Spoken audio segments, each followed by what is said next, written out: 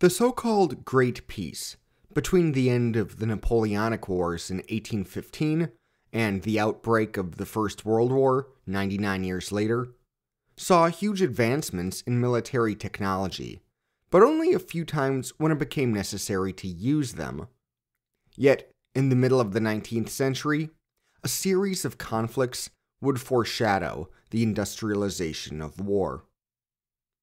In all of human history, there have been few periods that saw more bloodshed than the two decades between the first and second industrial revolutions.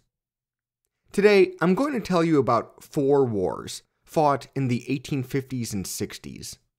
Four wars fought in four very different corners of the globe. Four wars fought over different issues, but all broadly driven by the forces of globalization and industrialization.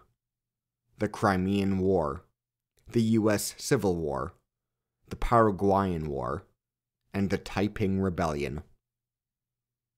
Not only would these conflicts prove to be shockingly deadly, they would each help reshape the geopolitics of the 19th century, and they would change the nature of warfare forever.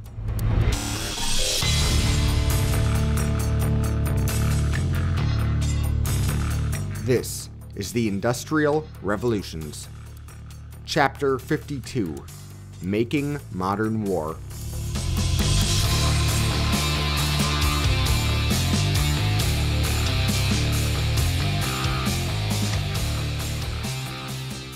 All right, before we get started, let me cover some administrative notes. Uh, first of all, yes, May turned out to be the month without an episode. This was partly because of the home buying process, and partly because this was a challenging episode to write, which I kind of expected. I had been both excited for and dreading this chapter for a long time. Uh, the good news is we've found a house and closed on it, and so from here, the schedule should be returning to normal. Knock on wood. Second, let me thank everyone who is supporting this podcast on Patreon, including new patrons Hakim Ahmed, Dennis Morgan, Ido Uziel, and Sebastian Stark, as well as Jim Enkenbrandt, John Bartlett, Chris Bradford, Elizabeth Brooking, Jeppe Burkhardt, Tara Carlson, Amelia Duncan, Michelle Gersich, Jason Hayes, Jeremy Hoffman, Eric Hoganson, Kira Holm, Brian Long, Mac Loveland, Emeka Okafor, Christian Sebast, Jonathan Smith, Brandon Stansbury, Alex Strains, Ross Templeton, and Walter Torres. Uh, thank you all. Just a reminder everyone who supports this podcast on Patreon gets access to the ad-free version of it. So, if you like the Industrial Revolutions but don't like the ads, just go to patreon.com slash indrevpod to sign up. You can support the show for as little as $1 per month, which not only gets you the ad-free stream, but also bonus content. The footnotes I read at the end of each chapter, and the entire archive of bonus episodes. Additional levels of support get you additional perks as well. So again, check out patreon.com slash indrevpod, and you can find the link in the episode notes. Finally, yes, this episode is a very, very long episode, uh, which took me two days to record, which is why the sound of my voice might change halfway through. Anyway, let's get started. Part 1 Death Loves a Crowd. In January 1853, the British ambassador to Russia, the future Prime Minister, Lord John Russell, was granted an audience with Tsar Nicholas I. What Nicholas told him has been translated in different ways, but basically it went like this quote, We have a sick man on our hands a man who is seriously ill. It will be a great misfortune if one of these days he slips through our hands, especially before the necessary arrangements are made. This sick man of Europe was the Ottoman Empire. As we discussed back in chapter 32, the power of that great Islamic empire had peaked in the late 1600s and was now viewed as being in rapid decline. Few successful investments had been made in industrialization or economic expansion there. A number of unsuccessful wars left the Ottomans ceding territory to the Russians and the Austrians, and a number of revolutions forced them to recognize an independent Greece and an autonomous Serbia. As for the necessary arrangements, the Russians were seeking tacit approval for war against the Turks. Quote, we must come to some understanding, the Tsar told Russell. Quote, Neither should take any decisive step of which the other is not apprised. On the one hand, a weak Ottoman Empire gave the Russians a great opportunity to expand south. On the other hand, they knew other European powers would want influence in the region, and thus the fall of the Ottomans would disrupt the delicate balance of power achieved by our old friend Metternich at the Congress of Vienna. Still, going back centuries, it was unthinkable that Christian nations would ally with Muslims against other Christians. Russia understood this and tried to use it to their advantage. But the British hated the idea of Russia's power expanding. The UK enjoyed a dominant role in terms of trade with Asia, and the pan Eurasian Russian Empire threatened that domination. So, they wanted to preserve the balance of power more than they wanted some kind of 19th century crusade. No understanding was reached between the UK and Russia the Russians decided to act anyway. Under the flimsy pretext of trying to protect Christian sites in the Holy Land, a Russian fleet was sent south across the Black Sea. When they came across a squadron of Turkish ships sheltering in port from bad weather in November 1853, Russian Admiral Pavel Nakhimov ordered his men to engage. Using a newly invented weapon, exploding shell guns. They obliterated the wooden hulled Turkish fleet in under two hours. British Admiral Adolphus Slade, on loan to the Ottoman Navy, sent word back to London describing this Battle of Sinop as a massacre. Soon after, the British joined the Turks in declaring war on Russia. As surprising as it was for a Christian power to ally with Muslims against other Christians, what was perhaps more surprising was the other power that joined this allied effort France. I mean, the British and French had been enemies since forever, and many British officers were either veterans of, or at least students of, the Napoleonic Wars. But the newly crowned Napoleon III needed to build some legitimacy for his imperial rule, and what better way to accomplish that with a new war? And as it turned out, the French were vital to this war effort. Their army had, by this point, seen about two decades of fighting in Algeria. French troops were experienced not only in battle, but much more importantly, with the logistics involved in fighting a modern war doling out medical care to the wounded, sending messages to the front and back, transporting supplies, etc. Observing the administrative efficiencies of the French camps was a wake up call to the British. They were clearly behind the times. As the war dragged on, this was especially clear in terms of who was leading the respective armies. French officers were from diverse backgrounds and promoted by meritocracy. British officers, by contrast, were largely from the aristocracy, and many of them were able to purchase their commissions. Those British officers made some major errors that came at a staggering cost of lives. But it was the Ottomans who really disappointed their allies. Upon arriving in Constantinople, in the lead up to invading the Crimean Peninsula, many British and French soldiers quickly developed rather racist attitudes toward the Turks, driven in part by Islamophobia, but also by the low levels of industrialization they witnessed. They interpreted this underdevelopment through a moral lens, often referring to the Turks as lazy in their letters home. While they were more technologically advanced than the Turks, the Russians too were behind the times.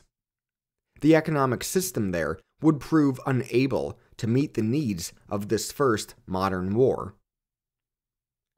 Russia's calculation for the war was driven, in large part, by the belief that nobody would oppose them.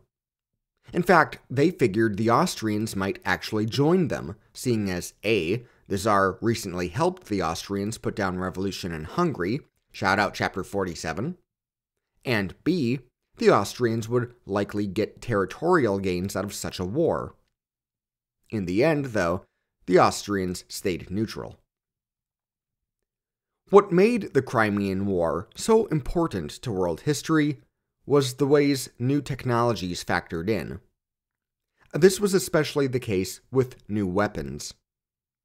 Explosive shells, like the ones used to destroy the Turkish fleet at Sinop, had been perfected in the 1840s by French artillery officer Henri Joseph Paixhans, who was able to add a delaying mechanism so a shell could fire straight at the enemy and then explode upon hitting them.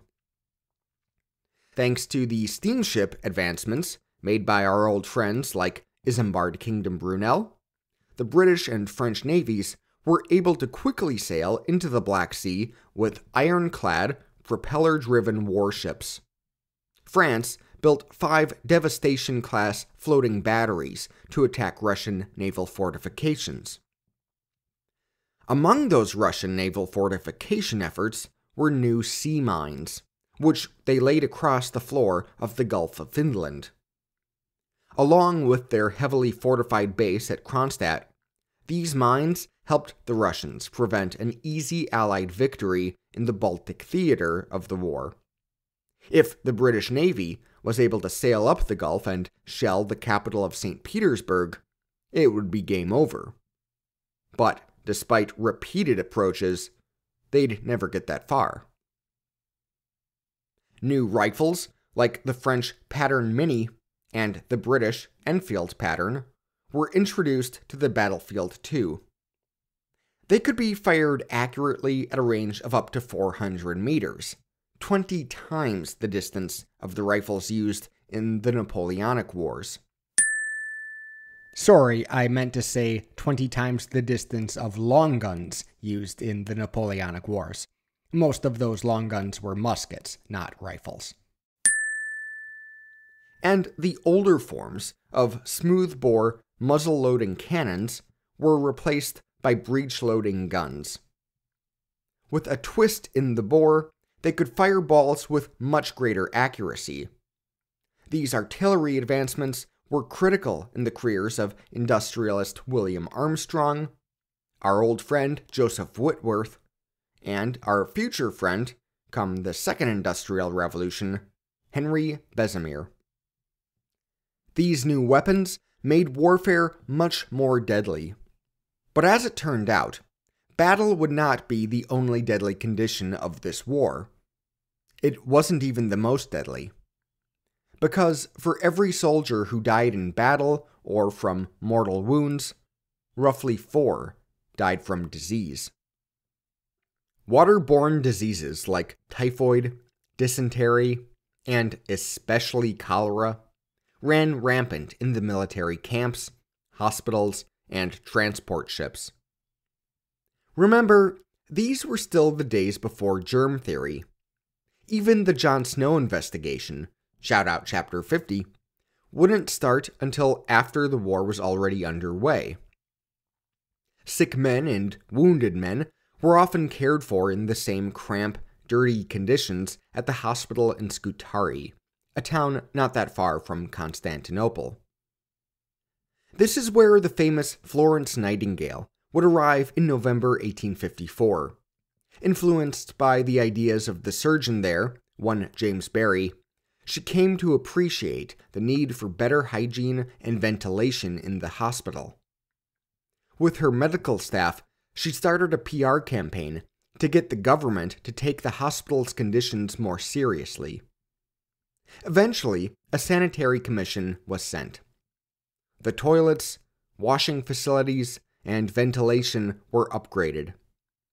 They were also able to help reduce overcrowding.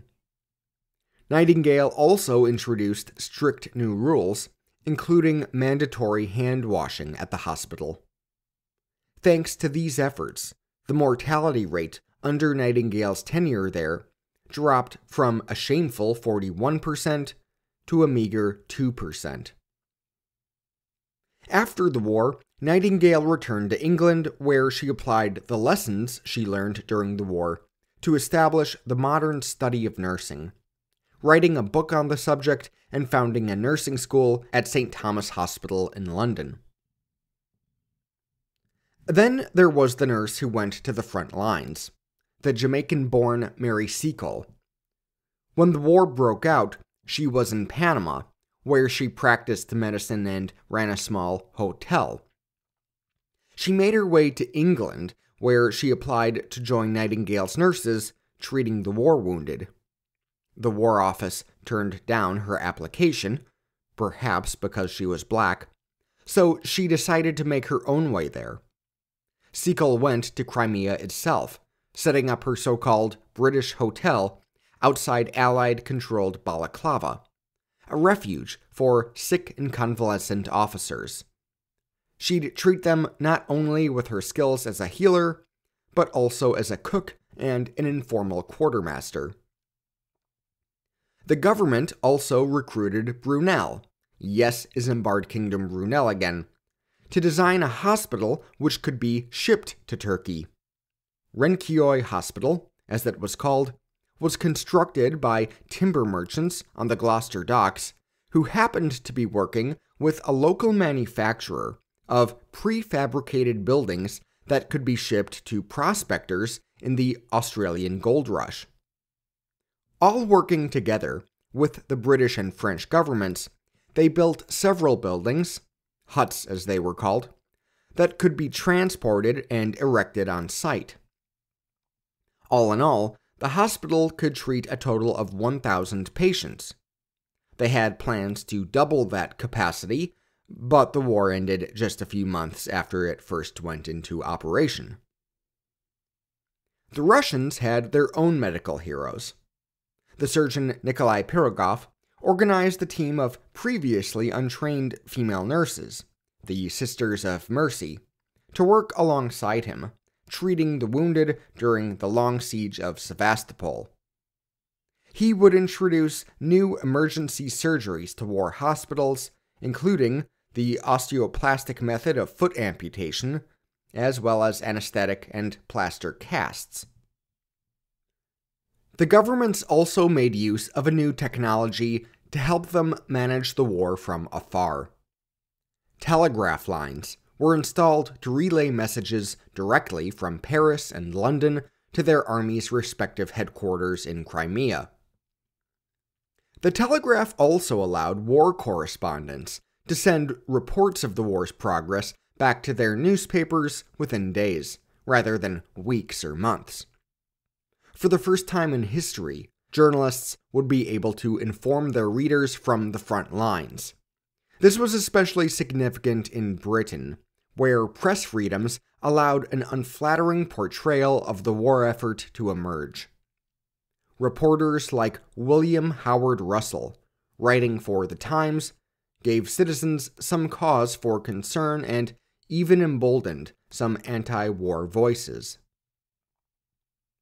The advent of war photography would have a similar effect. Roger Fenton, first inspired by the new trade when he saw photographs on display at the Great Exhibition, shout out chapter 46, went to Crimea in 1854 to document the war.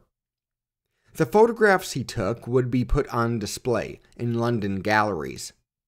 Some would be converted into woodblocks so they could be published in the Illustrated London News.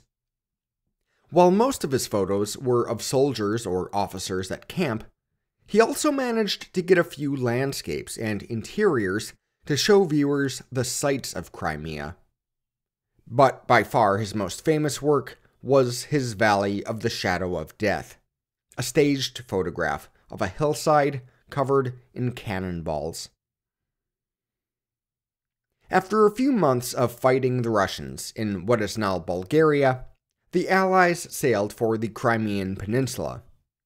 There, they would seek to take the Russian naval base of Sevastopol, and by extension, take control of the Black Sea. In July 1854, a sloop carrying British and French commanders went looking for a place on the peninsula to land. As they sailed by Sevastopol, they raised their hats to the Russians, a kind of old school demonstration of courtesy seldom seen in wartime since. They chose a site north of Sevastopol and landed over 50,000 troops there in September. From there, they marched down to the Alma River, where they encountered nearly 40,000 Russians. The subsequent chaotic battle saw over 9,000 casualties. As one soldier described it, quote, Our men were falling now very fast. Into the river we dashed, nearly up to our armpits, with our ammunition and rifles on the top of our heads to keep them dry. Scrambled out the best way we could. From east to west, the enemy's batteries were served with great rapidity. Hence, we were enveloped in smoke on what may be called the glacis and could not see much. We were only about 600 yards from the mouths of the guns. The thunderbolts of war were, therefore, not far apart, and death loves a crowd. Still, nothing but death could stop that renowned infantry. Thanks to the superior rifles of the British and the French soldiers scaling a cliff wall thought to be unscalable, the Russians were pushed back. From there, they marched not on Sevastopol, but further south to the harbor town of Balaclava, which the British would use to ship in weapons and supplies. The Battle of Balaclava would see far fewer casualties, most of which on the Allied side came thanks to the disastrous charge of the Light Brigade, when a misunderstood order sent 600 British troops in the wrong direction to take on heavy Russian fire. From there, the Allies were able to envelop Sevastopol. But they were not yet able to take it. In a harbinger of what would come in the First World War, the Russians built a sophisticated system of trenches around the city. It would end up being a long siege, lasting nearly a full year. To help break the siege, civilian engineers in the UK decided to join the effort by planning a railway from Balaclava to Sevastopol. The Ottomans provided laborers from Croatia and Montenegro to clear the path. They were followed by about 500 skilled navvies from Britain who laid the track. Operated as it was being built, this 14 mile railway helped transport ammunition to the front lines and wounded soldiers back so they could be shipped to the military hospitals in Turkey. It may have brought the war to a much sooner end. And while they made their own supply line move faster, the Allies also cut off that of the Russians, taking the Strait of Kerch and the Azov Sea, leaving Sevastopol under resourced. On top of all this, the Russian arsenals just could not keep pace with those of the Allies. Early on in the war, the UK's War Ministry realized the old network of suppliers in places like Birmingham would never keep pace with the Army's orders. And so they introduced the so called American System of Manufacture. Shout out Chapter 33. with new management and a new plant with modern machinery set up at Enfield in London. The British arsenal was able to mass produce guns and ammunition faster and with a higher degree of precision. The largely pre industrial Russian Empire simply could not match it. To regain the upper hand, the Russians tried attacking the French and Ottoman positions on the Chernaya River. Despite a numerical advantage, it was a disaster for Russia, which may have seen some 7,000 casualties there. As one French soldier remembered that day, quote, I once praised the grace of this valley. Now it is covered with corpses, which the nurses are fighting the vultures for. After the Battle of Chernaya, an Allied victory was basically inevitable. In September 1855, the British and French greatly ramped up their bombardment of Sevastopol. Over 300 cannons fired some 150,000 rounds at the naval fortress, killing between 2,000 and 3,000 Russians per day, and basically demolishing the city. After four days, the Russians finally abandoned post. The war had taken a staggering toll. In only two and a half years, the Allies suffered nearly a quarter million casualties, about half of which were French, while the Russians suffered well over half a million casualties. The effects of the war were perhaps equally staggering. It stunted Russia's economic development and international prestige for an entire generation. But it would also mark a turning point for the Eastern Empire. Many Russian elites, including the new Tsar Alexander II, embraced modernization as the best means of preventing such catastrophes in the future, including the long overdue abolition of serfdom and various industrial investments. And we'll dive more into those stories further down the road. It also served as a wake up call to the British, whose rigid, bureaucratic approach to the war, led by an old and generally incompetent aristocracy, significantly hindered their efforts and left their soldiers with a lot of misery. Among other things, the officers had not prepared the army for winter, so while they got to go home during the cold season, the rank and file were left in their trenches in Russia without proper clothing, leading to many cases of frostbite. By extension, a lot of amputations became necessary when they really shouldn't have. When the Liberals eventually took power under Prime Minister William Gladstone, War Minister Edward Cardwell led a series of reforms to further professionalize the military, including, critically, the abolition of commissions for sale. But with the Russians defeated, the UK was secure in its position as hegemon again, dominating trade and imperial aspirations in Asia, critically in China, but more on that later. The French Empire also sprang back to the prestige of a great power in Europe, although their coming rivalry with the Prussians would soon put that to an end. And for the Ottomans, it would be only a temporary victory, which cost them about a 100,000 lives in the process. By the 1870s, they would lose control of their territories in the Balkans anyway, as Slavic nationalists would rise up with the support of their resurgent ally, Russia.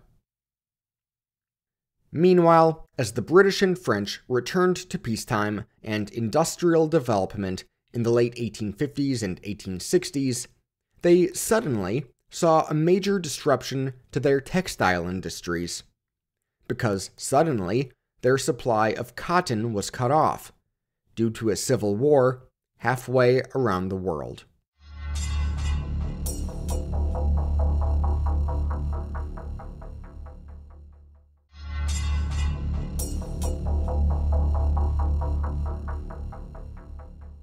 Part 2 Appeal Against the Thunderstorm. In the heart of Manchester, England, about a block away from the City Council building, is a statue of an American president, the one and only Abraham Lincoln. Erected during the First World War, it was gifted by later U.S. President William Howard Taft's son, as a symbol of the special relationship between the United States and the United Kingdom.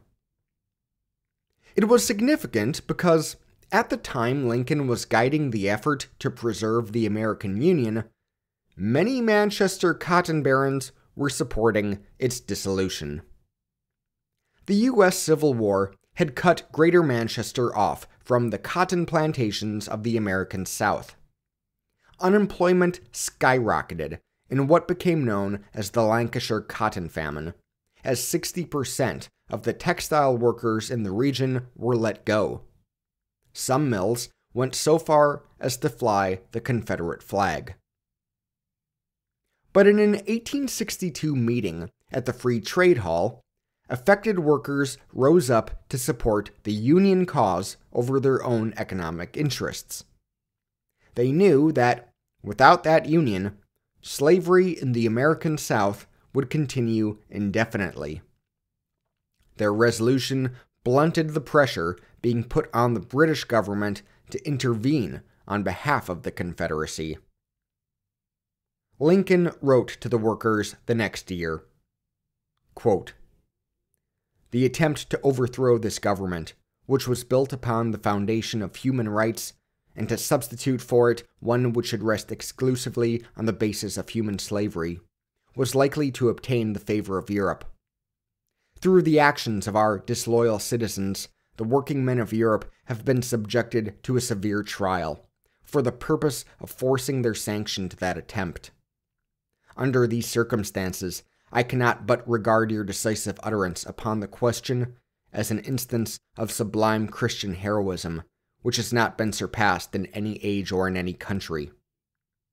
It is indeed an energetic and re inspiring assurance of the inherent power of truth and of the ultimate and universal triumph of justice, humanity, and freedom. No war has ever cost as many American lives as the U.S. Civil War. And the history of that war is entirely inseparable from the history of the Industrial Revolution. By 1861, raw cotton made up 61% of the value of all American exports. The vast majority of cotton processed in Europe was originally planted and picked in the southern U.S and the vast majority of the labor, planting and picking that cotton, was done by enslaved African Americans. To meet the growing cotton demand, Southerners sought the westward expansion of slavery into new states like Arkansas, Texas, and, quite notably, Kansas, where violence between pro slavery and anti slavery Americans broke out in the 1850s which isn't to say slavery was an especially effective system of producing raw cotton. As a reporter for the New York Times, our old friend Frederick Law Olmsted noted how inefficient it was, and how the slave plantations were surprisingly poor. Like Adam Smith had decades earlier, Olmsted speculated that paid labor would be more economically advantageous but that the slave owners were stuck in a feudal mindset. They believed it was more gentlemanly to be served by and to rule over others. Of course, this mindset would have been contrary to the democratic values of the young republic had it not been for white supremacy. In the northern states, by contrast, productive capacities were accelerating at an explosive pace. There, the industrial cities used the latest technologies, the power of steam, and proto assembly line processes to churn out not only textiles, but clocks and pocket watches, soaps and chemicals, food staples, tools, and, critically, arms and ammunition. The manufactured goods from among all the Confederate states amounted to a quarter of the value of the goods manufactured in New York State alone. For every mile of railroad in the South, the North had three. Great waves of immigration from places like Germany, Ireland, and Scandinavia were driving the population boom in the northern cities. For every free man in the South, the North had four.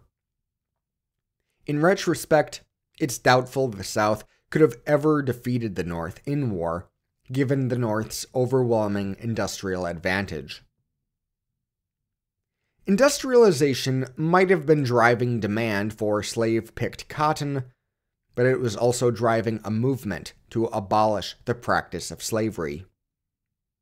Mass printing led to a dissemination of abolitionist newsletters, transcribed speeches, and books, most notably the 1852 novel Uncle Tom's Cabin by Harriet Beecher Stowe, which depicted slavery in such awful and graphic detail that it made Queen Victoria weep.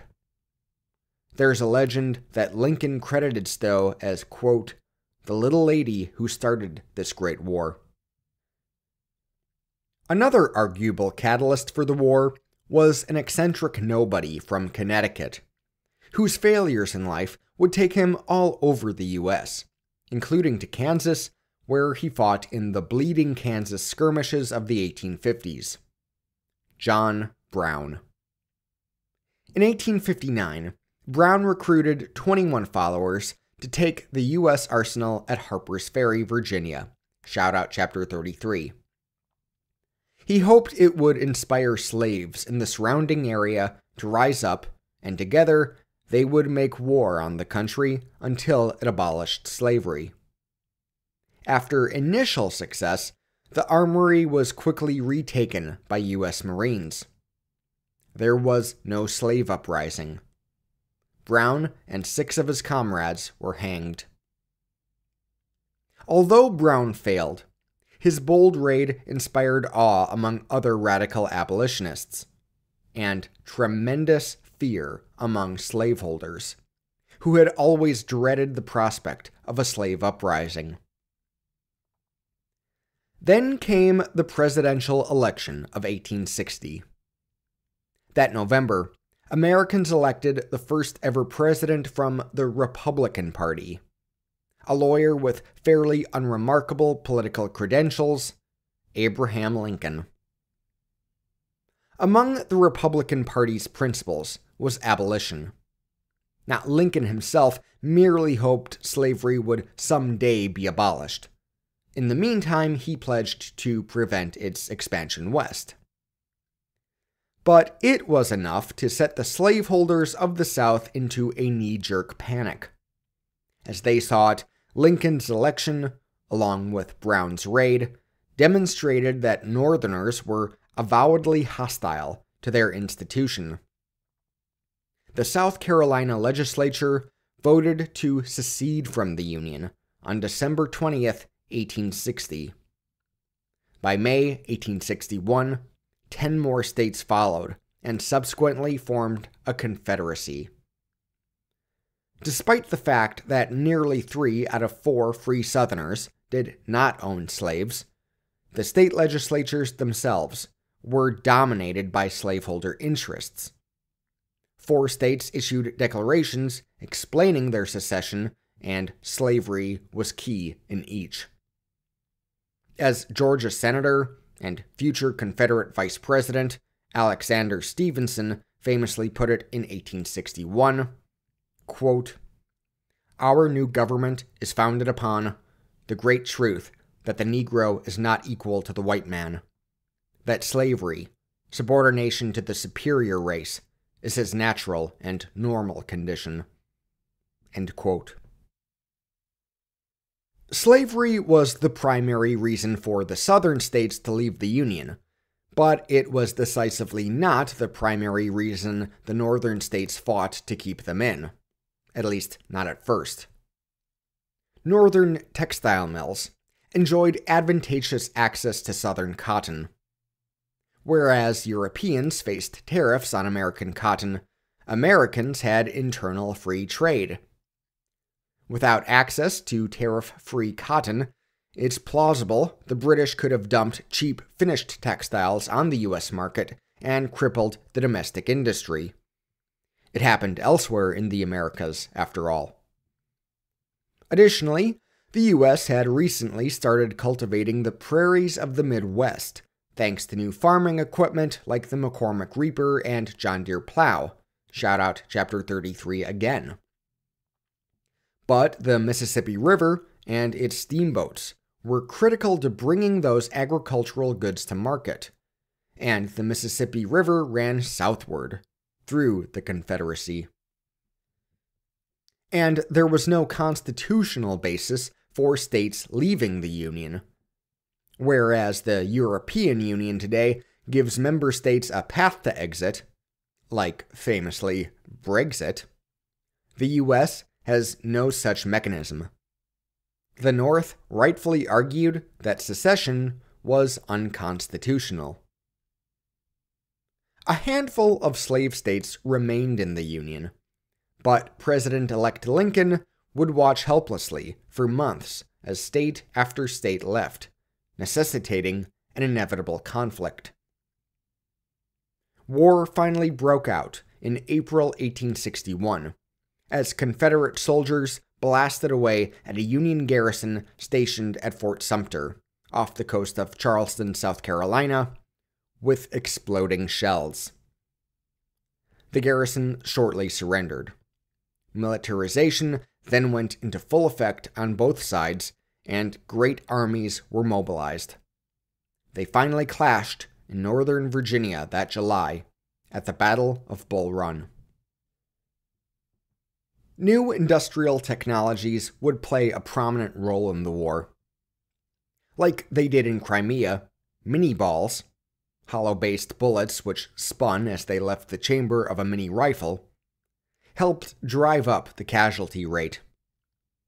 Originally invented by French artillery officer Claude Etienne Minié, improved designs would help the Army's respective soldiers kill from up to half a mile away telescopic sights on guns were introduced for the new tactic of sharpshooting.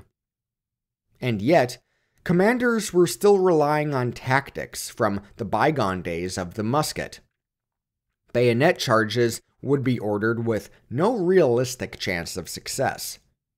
The casualty rates were staggering. Also, like in Crimea, heavy field guns were a common sight smoothbore breech loading guns, such as the howitzer, helped draw the enemy away from hiding positions. Heavy artillery would also shell towns and cities under siege, leading to destruction not seen in America ever before, nor since. Some 240 patents were filed for military inventions in 1862 alone. Among them was a new rapid fire gun invented by the American Richard Gatling. Cranked by a hand wheel, its several barrels rotated clockwise as they fired, reloaded, fired, reloaded in constant succession. Adopted that same year by the U.S. Navy, it was the first machine gun. The Civil War would also feature the first railroad artillery in war. Railroads would become a vital means of moving supplies to the front lines. Landmines were used for the first time. As they were by the Russians in the Gulf of Finland, sea mines were employed as well. Americans referred to them as torpedoes, although they were not the kind of moving torpedoes we know today. Hence the expression damn the torpedoes, full speed ahead, allegedly ordered by a Union admiral in the Battle of Mobile Bay. The telegraph became a key weapon in the North's arsenal. President Lincoln seized Northern telegraph offices for the war effort. The military's telegraph network carried some 3,300 messages per day along 15,000 miles of electric wire. A telegraph room was installed in the War Office across the street from the White House. By 1862, Lincoln was practically living in that office, sending and reading a flurry of telegraph messages for hours on end. It was a precursor to today's White House Situation Room. In his position as Commander in Chief, Lincoln could send orders to his generals far away. The telegraph also helped Americans follow the news of their Civil War. Journalists could send cables, which would then be written up and mass printed in the daily newspapers. Photographers followed the armies everywhere to make portraits of soldiers which they could proudly send home, capturing their heroism for posterity. These photographers also captured what they could of the battlefields, leading to the first ever harrowing images of fallen American soldiers. Unlike in Crimea, where photography was relatively limited, over a million photos of the Civil War were produced. Many were destroyed, though, due to the sharp drop in demand for them after the war ended. Many glass negatives were instead sold for greenhouses, where the sun slowly burned the images of bloodshed away. But many others we still have, as an invaluable visible record of the conflict. And it wasn't just images of the soldiers being sent back home. For the first time, the corpses of the slain were being transported back as well. The modern practice of embalming had existed for several decades, but it was seldom used before the 1860s. Now, the Army Medical Corps decided to return the slain to their families, and so they commissioned a doctor named Thomas Holmes to embalm the corpses so they could make the journey without decaying. So it is thanks to the Civil War that embalming is widely used today Indeed, there were a great many to send home. The casualty rate of the Civil War was way beyond what most folks imagined it would be. And like in Crimea, many of these casualties weren't happening on the battlefield. Disease killed twice as many soldiers as fighting did. Farm boys, camped in close quarters with other men for the first time in their lives, were especially susceptible to dying from contagious illnesses. But inspired by Nightingale's success in the previous decade, the Americans took decisive action to limit such deaths. A United States Sanitary Commission, led in part by Executive Secretary Frederick Law Olmsted, cut the North's disease rate in half, reforming hospital conditions and improving food. Serving and supplying the commission was a massive network of women volunteers who raised money, knit blankets, staffed hospital ships and camp kitchens, collected care packages, and more.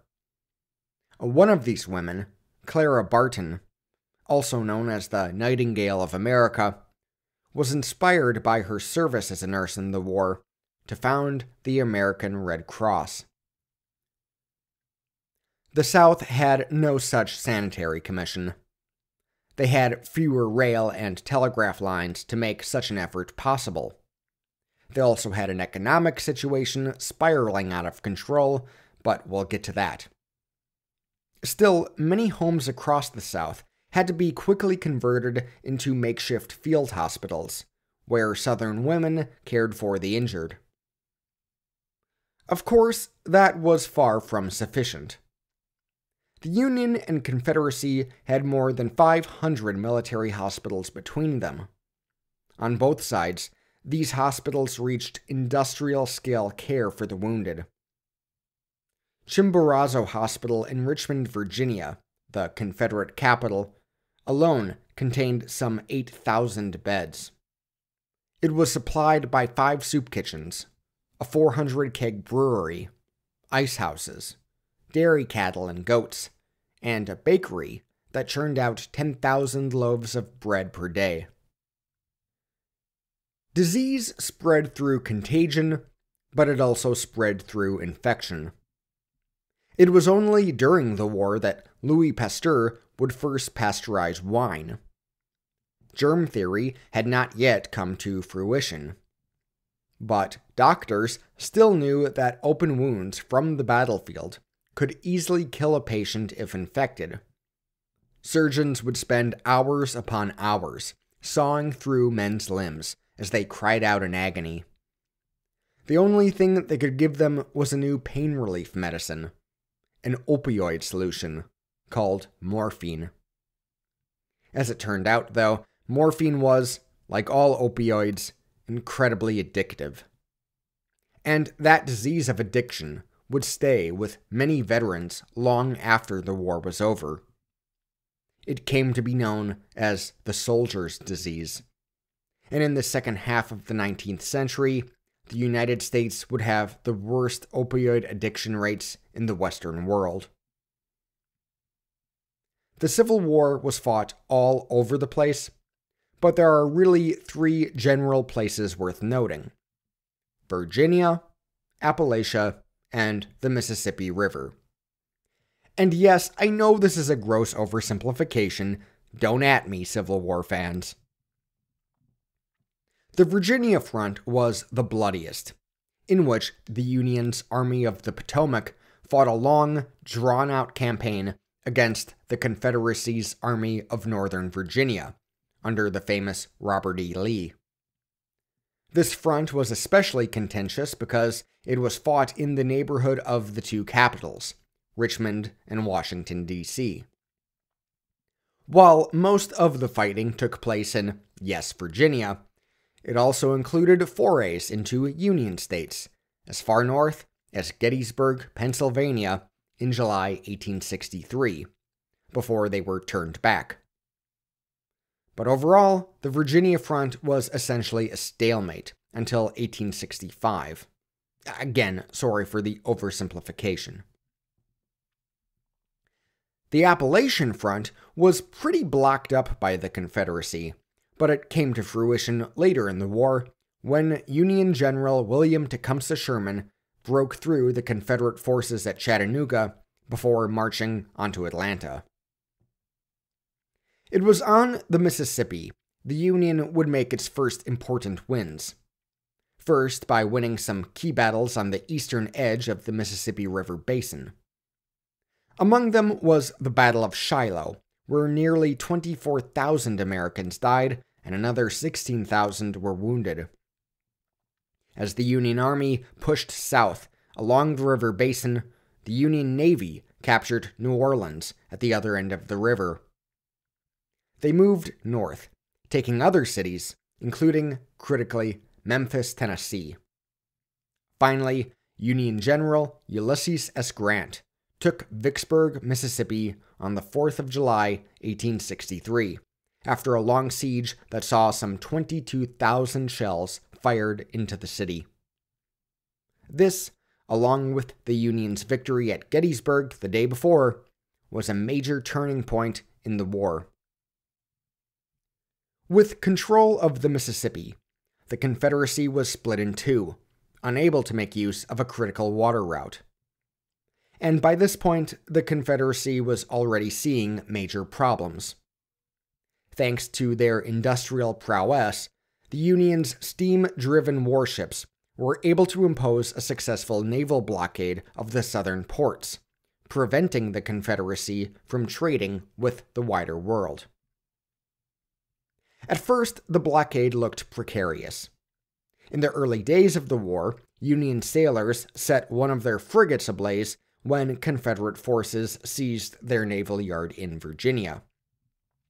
The Confederates decided to salvage the ship and converted it into an ironclad steamer, which would be almost entirely submerged in the water and driven by a twin blade screw propeller.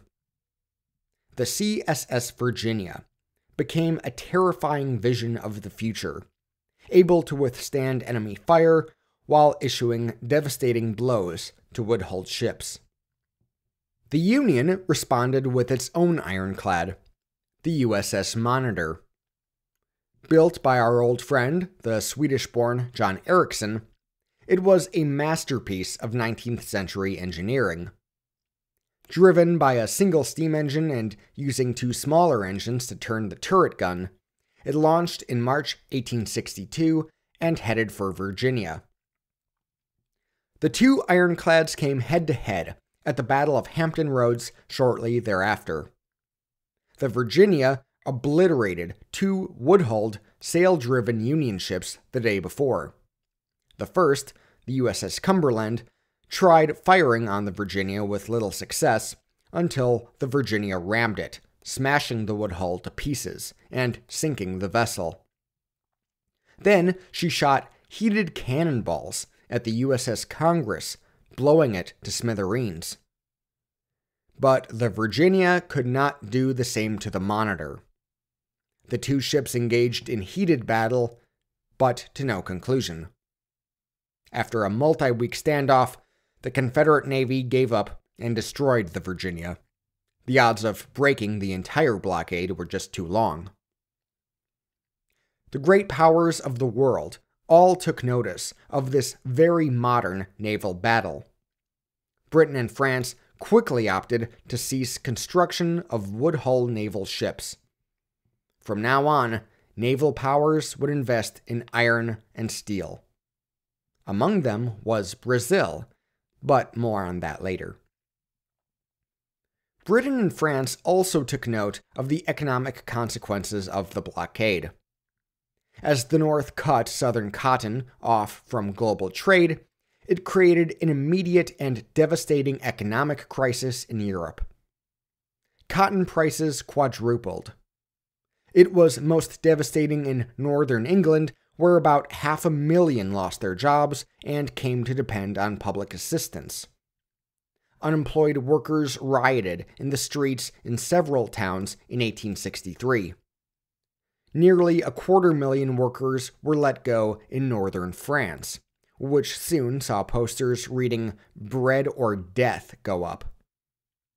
The nascent textile industry of Russia was hit especially hard, as Moscow mills limited themselves to a quarter of their former capacity. Europeans began turning to other cotton producing regions. Suddenly, farmers in India, Brazil, and Egypt found themselves in quite the seller's market. Peru's cotton exports quadrupled. China started selling cotton to Russia. The crisis led the British government to invest in rail construction for India so cotton grown there could make it to the ports quicker. British textile manufacturers, meanwhile, began mounting greater and greater pressure on their government to intervene in the American conflict. They believed a Confederate victory was inevitable anyway. The UK's ambassador in Washington pressed the Lincoln administration to revive shipments from the Mississippi. The administration, meanwhile, understood the implicit threat that the British, French, and other powers could always come to the South's rescue. Instead, Lincoln changed the war's objective. On January 1st, 1863, he issued the Emancipation Proclamation, freeing all the slaves in the states in rebellion. It bolstered the North's resolve by giving a renewed sense of purpose to the abolitionists. It helped recruit nearly 180,000 black troops to the cause. When the Union approved black enlistment, it saw its ranks swell dramatically. By the war's end, roughly 10% of Union forces were African Americans. The Emancipation Proclamation also put moral pressure on the Europeans to back the f off. Unless they wanted to be remembered for fighting for slavery, after they had abolished it in their own empires, they had better look elsewhere for cotton for the time being.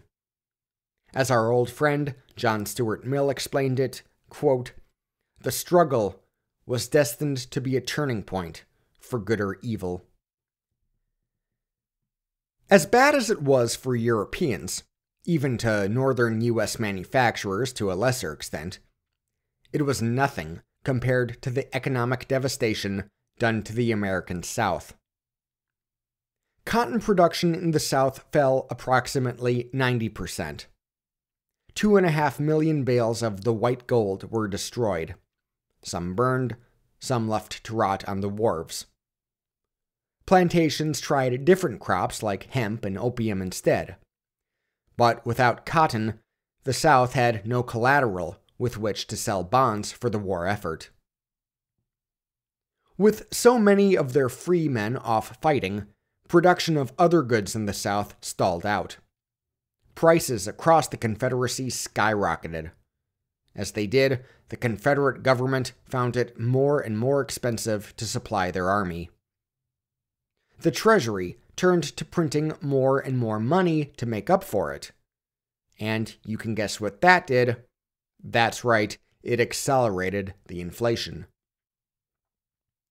The Civil War would actually mark an interesting turning point in the history of American money. Before the war, paper currency was issued by individual banks. These banknotes were backed by gold, so theoretically you could exchange a dollar from the bank of such and such at the bank of such and such and get a dollar's worth of gold. Mostly, though, you could give people the banknotes you were holding, and that was sufficient. But the further away you were from the bank of such and such, the less that banknote was worth. If it was a note from a bank in Ohio, and you found yourself in Louisiana, you could still use it to pay for lunch, but it had better be a 50 cent lunch because that's all your dollar would trade for there. With the Civil War moving people all over the country, the treasuries of the two sides had to change that. Now, the British had long given the Bank of England monopoly status for printing banknotes. The Americans were about to do something similar. Banks would still issue their own banknotes, but they'd be printing on the fronts of paper issued by the Treasury. The back of the note would include language about how the note was backed by the Treasury.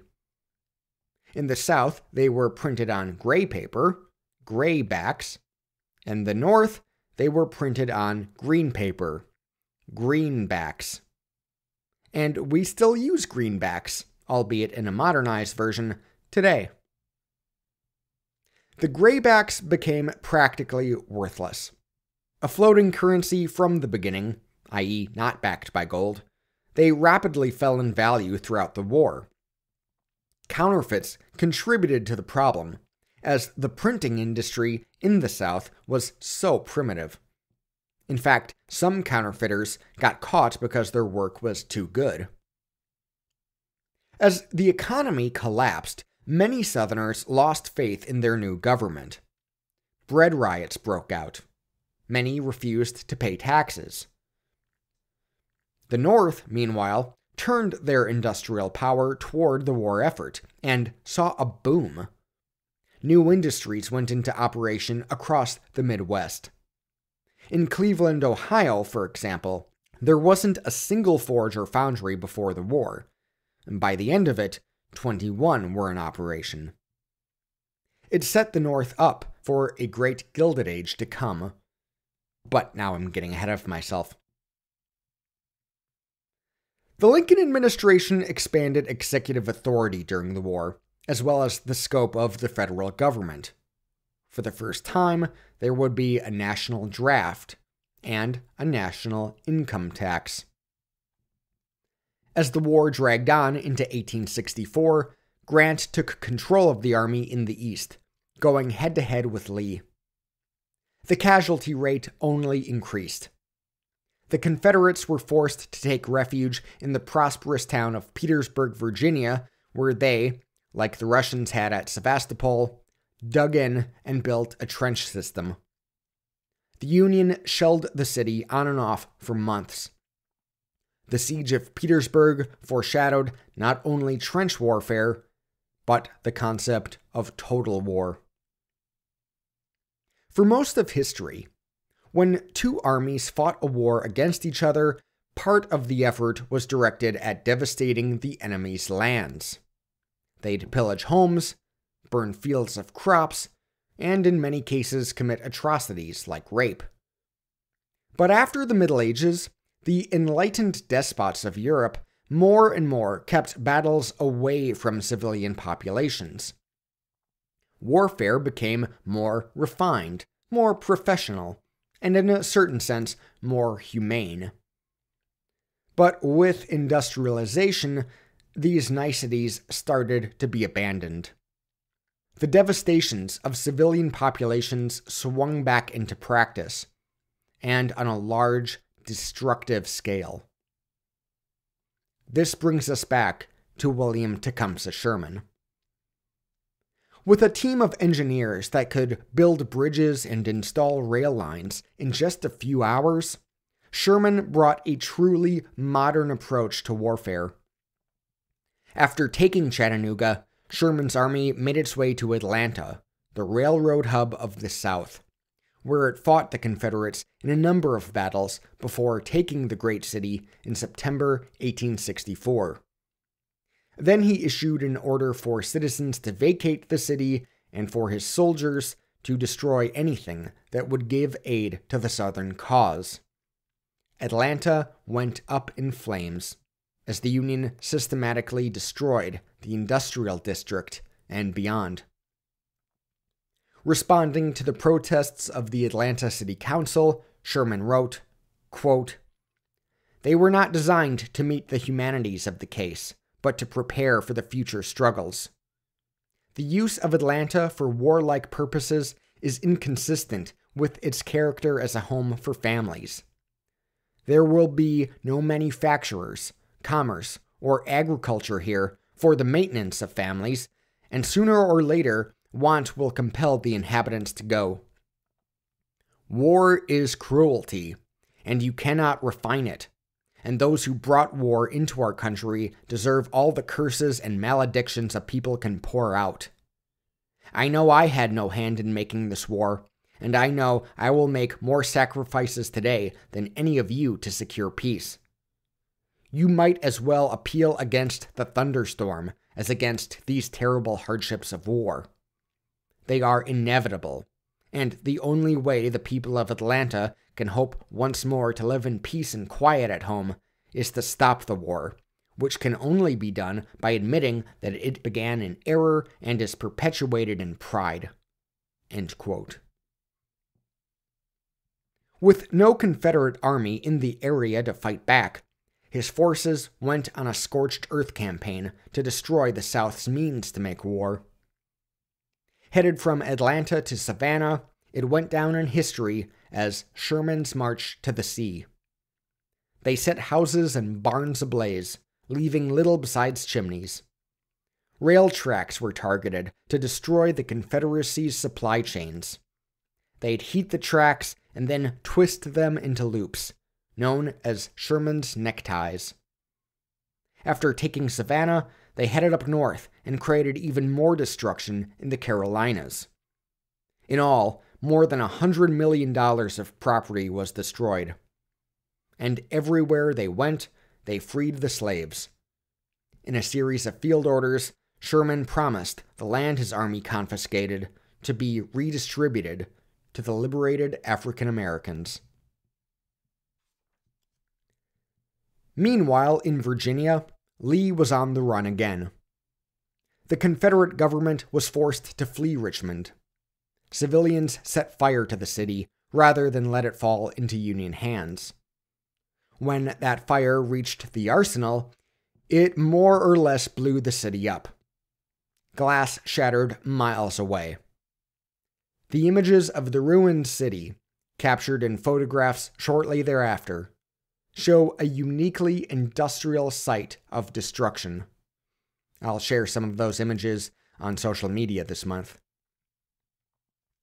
From there, 125,000 Union soldiers chased Lee's 25,000 around Virginia.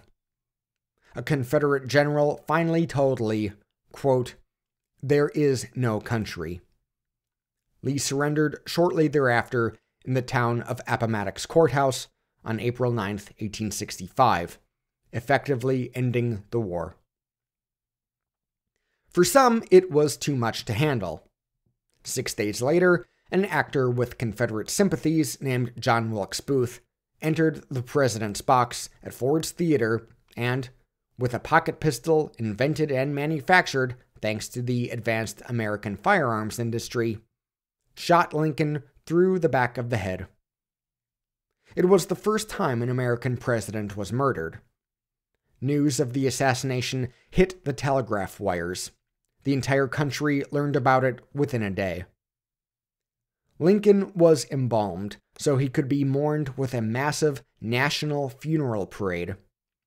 After lying in state under the Capitol Dome, a project which was completed during the war, his body was transported by rail to stops in several major American cities until it made its way back to his hometown of Springfield, Illinois. By the time it was over, the U.S. Civil War produced as many as 1.5 million casualties.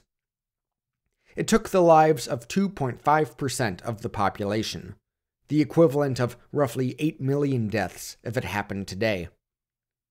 Over the course of just two days, more Americans died at the Battle of Shiloh than in all previous American wars combined. At Cold Harbor, an astonishing 7,000 perished in a devastating 20 minutes. It was often ruinous at a local level. Many regiments were made up of young men from the same towns. When those regiments were defeated in especially bloody battles, those towns lost much of their young male populations.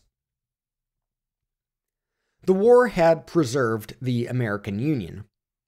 Thanks to the Emancipation Proclamation and the 13th Amendment to the Constitution, ratified in the months after the war, it had ended the practice of chattel slavery in the United States.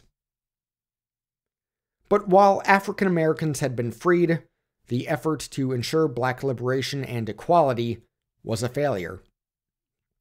As Lincoln's vice president, Andrew Johnson, took over the administration, he sought a speedy reunification of the country. The Reconstruction efforts to ensure black citizenship rights, as well as new schools, hospitals, infrastructure, and other aid, meant to provide opportunity to black and white Southerners alike were largely abandoned in the years to come. Reparation efforts, including Sherman's field orders, were reversed by the new president. Thus, lands promised to freed black farmers were returned to the plantation owners who encouraged secession in the first place. In our need to address the sins of our past, the long American tradition of kicking the can down the road had begun. Freed African Americans would elect the first black members of the Congress, but they were soon replaced by white supremacists, including former Confederate Vice President Stephens, who got his old Senate seat back. The Ku Klux Klan was established, and it wreaked a violent terrorist campaign against blacks across the South. By the end of the century, Jim Crow was going into full effect. Meanwhile, the Union looked westward. While the Army forcibly removed Native Americans from their ancestral lands in Middle America, Congress passed the Homestead Act, allowing American citizens to claim almost any tract of land they wanted for a few small fees. About 10% of the landmass of the modern United States was settled thanks to this act and the Morrill Act established land grants to finance state colleges for agriculture and industrial studies. It was the dawn of America's state university systems. For the first time in world history, the public would fund higher education to train ordinary farmers and mechanics, building an economy of the future and new railways were planned including a transcontinental railroad to link the reunified country to the great wealth to be found in California and the Pacific coast. More than anything, the Civil War changed the character of the U.S. from an agglomeration of states to a nation, in the sense we think of nationhood today. The millions of soldiers mobilized for war intermixed in their camps. They learned each other's songs, like John Brown's Body, the tune of which was adapted for the Battle Hymn of the Republic. Bonnie Blue Flag Dixie, and Lorena. All the years creep slowly by Lorena. The snow is on the ground again. The low down the sky, Lorena. The frost gleams where the flowers have been. These, along with the many written by the prolific Stephen Foster, became the foundations of American music. And the soldiers played each other's games card games, dice games, and a new ball game out of New York City known simply as base, what we now call baseball. It's often said that before the Civil War, the U and S in the United States were sometimes left lowercase. That oftentimes the actions of the US were described in the plural tense. The United States are increasing a tariff. The United States are holding an election. Whereas today we say, the United States is signing a treaty.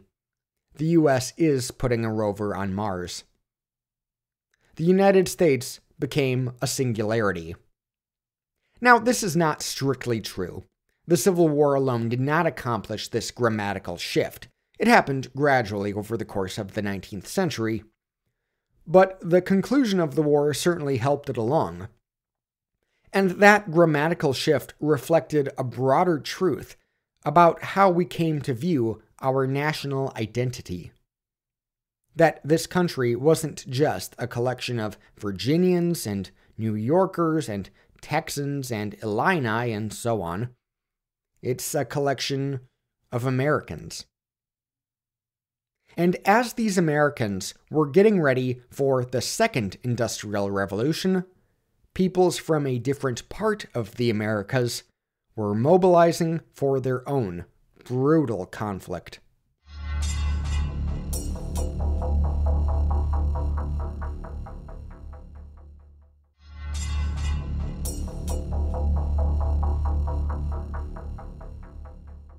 Part 3 Overcome or Die. Back in Chapter 32, we talked about how the newly independent countries of Latin America attempted industrialization, but ultimately struggled to compete with cheap British imports.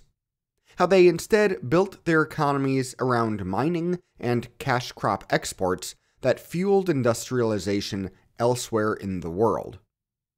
To the extent that Latin American countries industrialized, it was usually by building railroads and modern ports to accommodate steamships, helping get those exports out to the global market. As a result, these new countries found themselves competing with one another for the single most important resource you could have in this economic system land.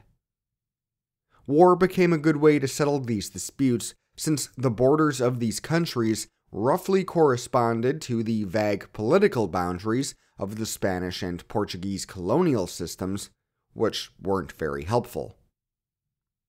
So, from 1820 to 1900, there was almost always a war being fought in South America.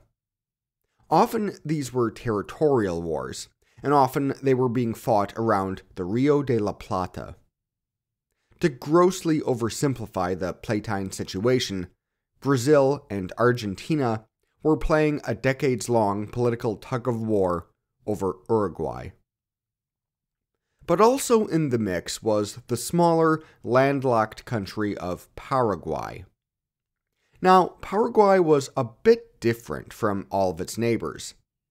It had been colonized by the Spanish in the 1500s, but almost from the start, the Spanish decided it wasn't all that important to them. So the conquistadors, who became the ruling class in Paraguay, assimilated with the native peoples of the country. They'd have Spanish surnames, but mostly they spoke the indigenous language of Guarani. They adapted to indigenous culture, observed a syncretic version of Catholicism, and generally remained isolated from the outside world. After achieving independence from Spain, Paraguay came under the rule of the dictator, and yes, that was his title, dictator, Jose Gaspar Rodriguez de Francia. An Enlightenment lawyer who held a doctorate in theology, Francia sought to make Paraguay into a utopia, using the philosophy of Jean Jacques Rousseau to guide him. Among other things, he outlawed Spaniard intermarriage, thereby forcing racial intermixing to ensure race wouldn't be a problem in Paraguay the way it seemed to be everywhere else in the world. Francia cut Paraguay off from the rest of the world, enforcing strict borders with Paraguay's neighbors as they descended into violence. He nationalized the Catholic Church, nationalized half the country's land, and not only legalized prostitution, but also insisted it was an honorable profession. Francia also brutally enforced his rule and, critically, began building up Paraguay's military.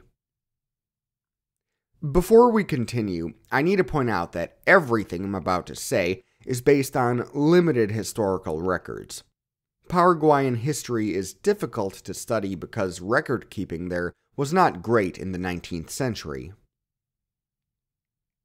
After Francia died in 1840, a short power struggle ensued until one Carlos Antonio Lopez took over as Paraguay's first president. Together with his son, Francisco Solano Lopez, he continued Paraguay's tradition of centralized authoritarian government. The Lopezes also sought to expand Paraguay's influence and power while maintaining its isolation from outside threats foreign loans were rarely taken out. But exports increased significantly, notably yerba mate and tobacco, and to some extent hardwood and untanned leather from the country's cattle ranches. There was also some gold and silver mining. Manufacturing was limited mostly to cigars. Now, these industries in Paraguay were often monopolized by the state, or they took the form of privileges given to the Lopez family and their allies. In fact, in foreign dealings, agents in London and Buenos Aires found it difficult to distinguish between Paraguayan state business and the personal business of the Lopez family. For all intents and purposes, the Lopezes were the state. Paraguay was their fiefdom. Although Paraguay is landlocked, it has access to global shipping via the mighty Paraná River, which runs through Argentina.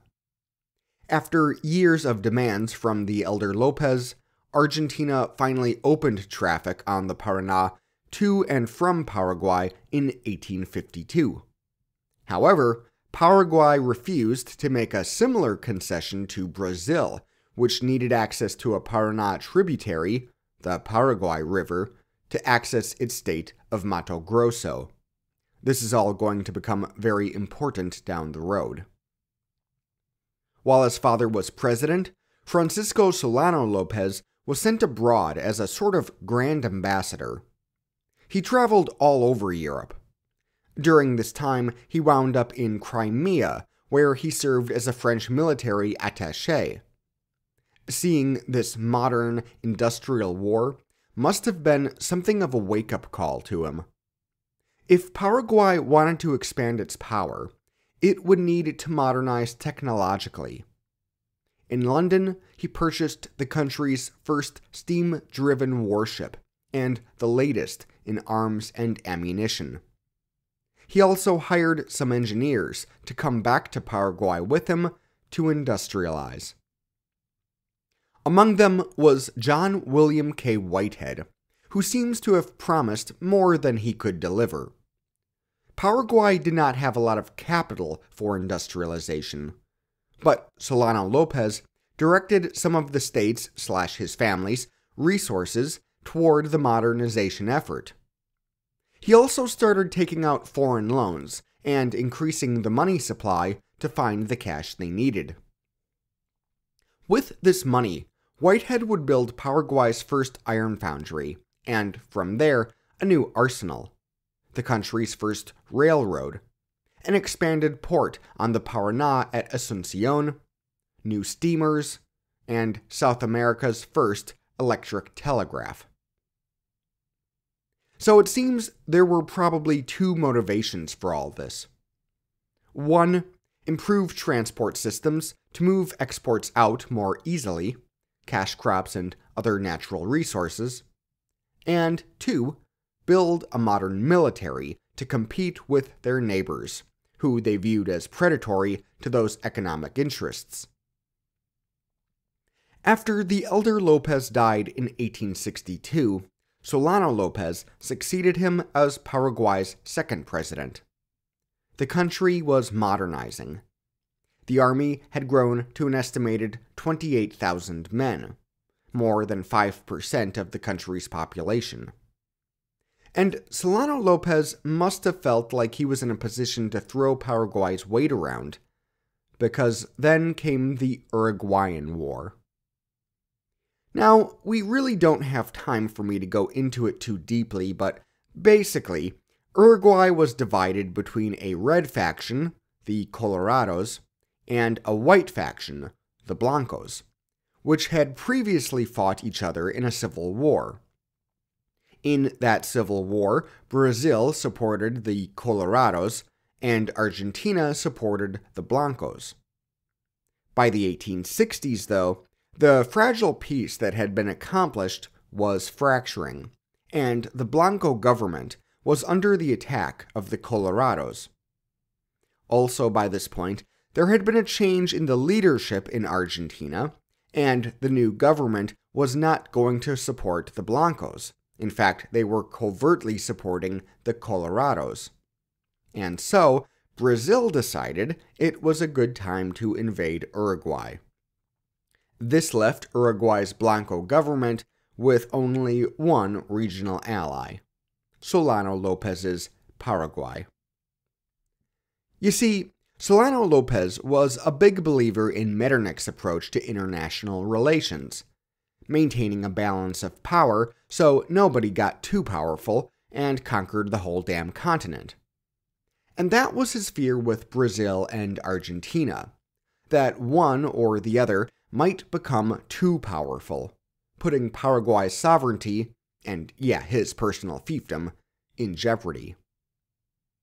So, when Uruguay found itself under attack in 1864, Solano Lopez stepped up on their behalf. This was a really, really bad move. For one thing, Paraguay had not industrialized to anywhere near where they hoped. After three years of construction, the railroad was only about 35 miles long. The arsenal was using modern machinery and producing an enormous amount of ammunition, including both solid and hollow bullets, as well as grenades and land and naval gun carriages, but not the best guns. The army would need to rely on smoothbore cannons and carbines, far less accurate than the new breech loaders and rifles. And little did Solano Lopez realize just how much his enemy's forces had industrialized during these same years. The foundry, they hoped, would serve as a foundation for a new Paraguayan iron industry that could compete with the UK's. But it failed, in large part because they couldn't find coal deposits in Paraguay to fuel the blast furnaces. Paraguay does have good coal reserves, they just couldn't be located in the 1860s. And it was this failure at the foundry that put all the other efforts to industrialize behind. For another thing, Paraguay was taking on the most powerful country in South America, Brazil. And if that wasn't enough, the Colorados would soon take control of Uruguay, and together, Brazil and Uruguay would join Argentina to form what became known as the Triple Alliance. Paraguay's ambitions would be undiminished. They decided to fight them all. When Brazil sent a ship up the Paraguay River to Mato Grosso in November 1864, carrying the province's new executive on board, Paraguay used the moment to declare war. They seized the ship and, about a month later, invaded Mato Grosso, taking several towns. From there, they headed south to relieve the Blancos in Uruguay. When Argentina refused Paraguay access to the Paraná for this fight, Paraguay declared war on Argentina too. By May, a secret treaty of the Triple Alliance was signed, agreeing to keep up the fight until Paraguay was defeated and Solano Lopez was removed from power. Then the Allies launched raids on the Paraguayan border, forcing Paraguay into a more defensive position. Despite the overwhelming odds against them, the Paraguayans were able to hold out, thanks in part to their warships on the Paraná and Uruguay rivers, thanks in part to the trenches they dug, and thanks in part to the difficulties the Allies had organizing their coalition forces. For nearly a year, the two sides were in a sort of stalemate. Then, in April 1866, the Allies decided to make a major push into Paraguayan territory. After repelling this invasion at the Battle of Estero Bellaco, Paraguay decided to make its own push into Allied territory.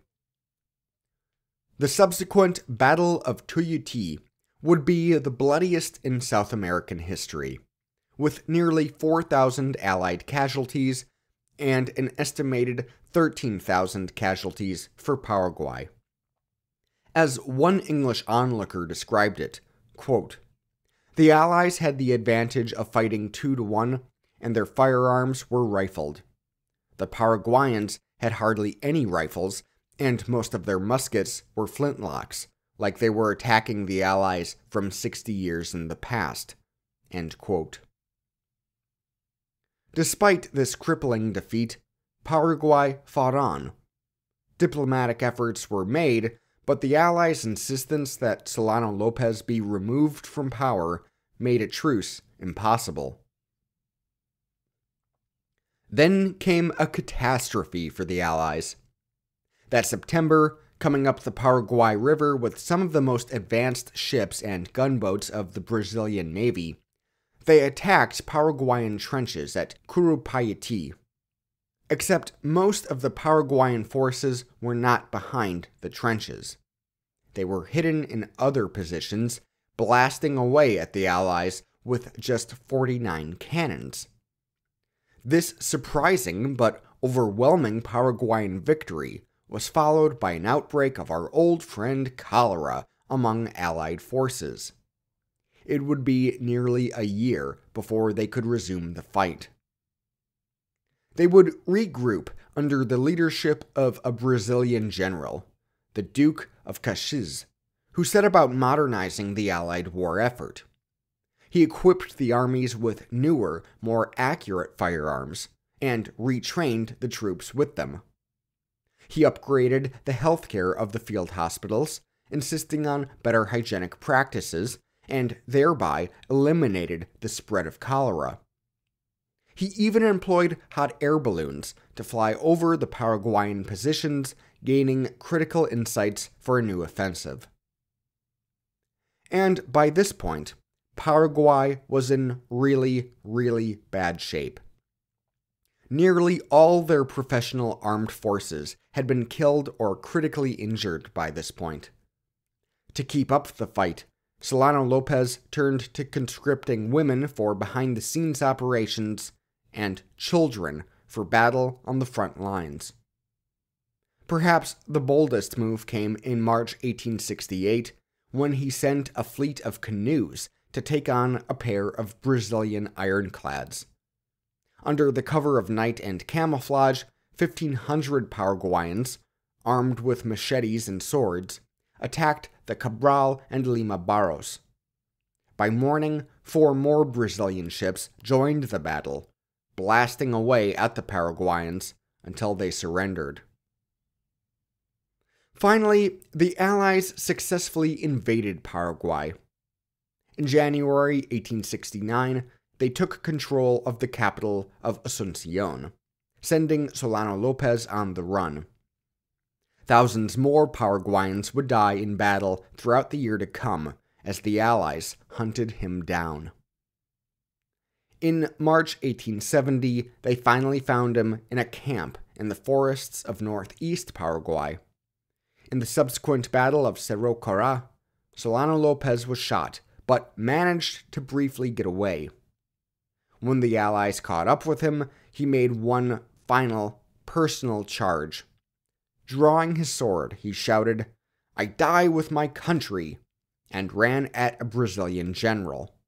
He was shot dead before he could reach him. There's an expression in Spanish, vencer o morir.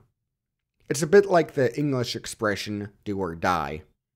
It basically means win or die, or more accurately, overcome or die.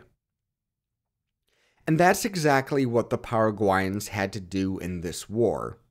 They had to overcome insurmountable odds, or die trying. Perhaps had it not been for Paraguay's history of isolation, they might have better understood just how impossible the task of winning this war would be. Perhaps had its executive leadership not been so centrally tied to the Paraguayan identity, they might have given up Solano Lopez before it was too late. Perhaps, had it not been for so many officers dying at Tuyutí, they could have stopped their leader from continuing his suicide mission.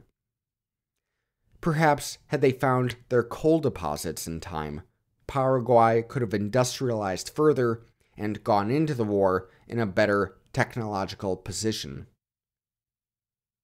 But none of these things happened.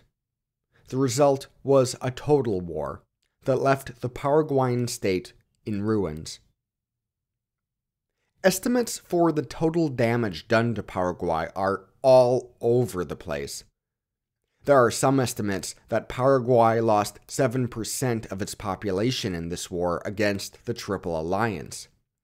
And that 7% is by far, and I mean by far, the lowest estimate there is. According to the most common estimates, as many as two out of every three Paraguayans died as a result. Two out of three citizens dead, gone. Furthermore, most of the dead were men. As of 1870, women outnumbered men in Paraguay 4 or 5 to 1. Paraguay was also stripped of about 40% of its territory, which was split between Argentina and Brazil. Economic development in Paraguay was stunted for decades, which has had a lasting impact on the country up to the present day. And while their populations were much larger than Paraguay's, the Allies lost heavy numbers too, perhaps as many as 200,000 casualties. It was by far the deadliest war in South American history, and one of the deadliest in all of modernity. But it was by no means the deadliest war of these two decades the longest and deadliest of them all, was taking place 12,000 miles away in China.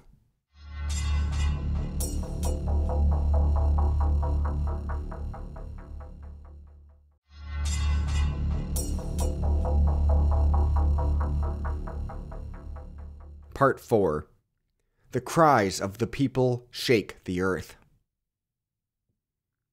In March 1850, the 19 year old Aisin Gioro Yizhu ascended to the Chinese throne as the Xianfeng Emperor.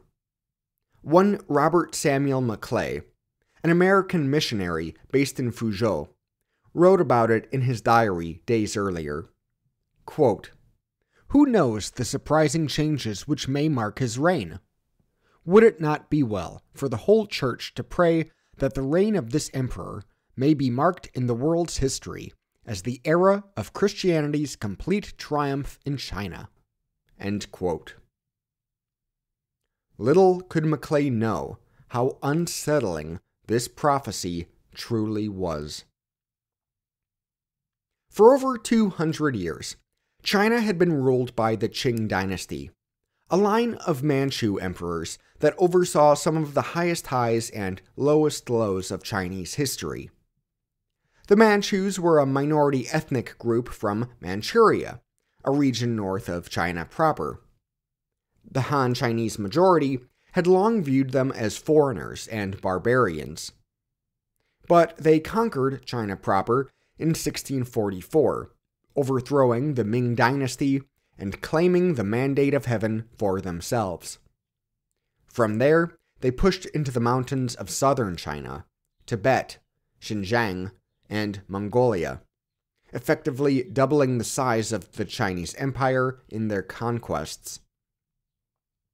To legitimize their rule, the Qing invested heavily in the promotion of Chinese tradition, including Confucian ideology and state administration by exam promoted bureaucrats.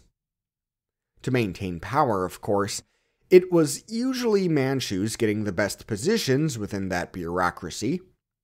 But from the mid 1600s to the mid 1700s, it all went pretty well. The economy flourished as trade with the West brought in an abundance of silver. In fact, things were going so well that the population expanded significantly, nearly tripling by the turn of the 19th century, and continuing to rise from there. But just like in England, this boom in population had its drawbacks.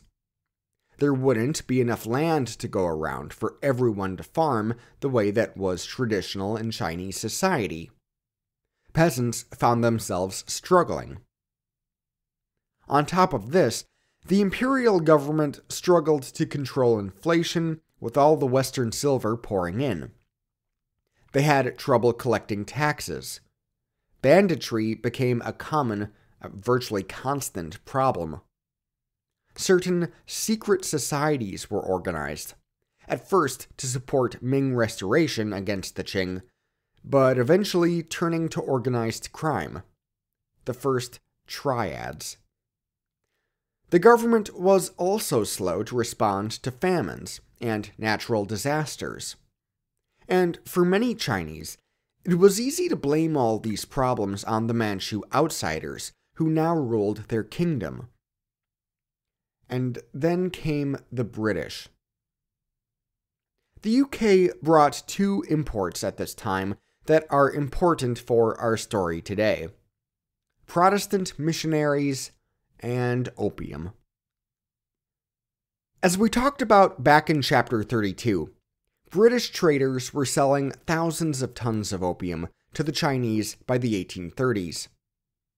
The British East India Company and the British government were happy to support this illegal trade as it was the only way to ensure a trade balance with self sufficient China, which the UK needed to support its growing manufacturing base. So, when Chinese officials began destroying opium shipments, the British declared war. Exerting the pressures of their industrialized navy, the British overwhelmed the Chinese. Finally, in August 1842, representatives of the United Kingdom and the Qing Emperor signed a treaty aboard a British warship anchored at Nanjing. Known in China as the First Unequal Treaty, it gave Britain control of Hong Kong, preferred trade status with China, and access to ports across the country, including, critically, Shanghai. China, meanwhile, was forced to pay massive reparations to the British. And it would be here, in Nanjing, where a massive rebel movement would take over in the next decade. And it was from this city they set up a fanatical new government, led by the self proclaimed younger brother of Jesus Christ. Hong Xiuquan was born outside Guangzhou, then known to Westerners as Canton, in 1814 to a prominent farming family from the minority ethnic Hakka community. Their clan had been high officials and imperial advisors during the Song dynasty, but by now they were reduced to poverty. Still, they had high hopes for Xiuquan, and so they encouraged his education so he could pass the civil service exams and become a state official. He was a highly gifted student, memorizing the histories and the teachings of Confucius, so important for imperial service. By this point, the examination system had become notoriously difficult. As pretty much the only path one had to achieve upward mobility, the exams attracted lots of brilliant students, and fewer than one out of a hundred would actually pass. And if you failed at a provincial level, it would be years before you'd get another opportunity. Hong took the exams and failed, took the exams again and failed again. After his third failed exams in 1837, Hong suffered a total mental breakdown. He had to be carried home, where he apologized to his family that his life was over. Then, over the next 40 days, he lay in bed experiencing a series of visions, including one in which an old man, wearing a golden beard and a black robe adorned with dragons, told Hong, the people of the world, quote, Take of my gifts and therewith worship demons. The man then gave Hong a sword for slaying demons. In other visions, he watched the old man berating Confucius, in another, Hong went demon hunting with an older brother he dreamed he had. His family watched him in these trances as he screamed, Kill the demons! and swung his sword in the air. At one point, he woke up and proclaimed himself the Emperor of China. In time, he recovered, and in 1843, he took the civil service exams once again and failed a fourth time. But that same year, a cousin of his found a piece of Christian literature Hong had lying around. One of those Protestant missionaries had given it to him years earlier, but Hong never bothered reading it. Now, in the wake of his visions, as well as his repeated failures to advance through the traditional channels of Chinese society, Hong had a revelation. He interpreted his visions through a Christian lens and told his cousin what it meant. Hong was the second son of the Christian God, the younger brother of Jesus. And he was being called by his father to slay the demons who brought misery to the Chinese people, the Confucians and the Buddhists. He then baptized himself and made his cousins, Hong Rengan and Feng Yunshan, his first converts. Together, they destroyed Confucian and Buddhist iconography and texts, gathered Christian literature, and began preaching to their family and neighbors. They met with various Protestant missionaries, including Scandinavian Lutherans, British Presbyterians, and American Baptists. In 1847, they moved to Thistle Mountain in Guangxi Province, where they established the Society of God Worshippers. They published a Chinese language Bible. Feng began teaching the locals how to read. And Hong started holding ministries that looked an awful lot like the Baptist tent revivals of the contemporary United States. Shout out chapter 45. By now, their converts were beginning to establish their own churches, recognizing Hong as the Son of God and the leader of their faith. In his travels throughout southern China, Hong also became more and more political. It wasn't just Confucius he took issue with now. It was the Manchu leaders who had failed China, bringing shame and poverty to their kingdom. As he noted from the book of Isaiah, quote, Your country is desolate, your cities are burned with fire, your land, strangers devour it in your presence, and it is desolate, as overthrown by strangers. He explained to his cousin, Rengan, that the Manchus were the quote, usurpers of China, who, quote, rob their brothers of their estate. By 1850, Hong had a couple thousand followers around southern China.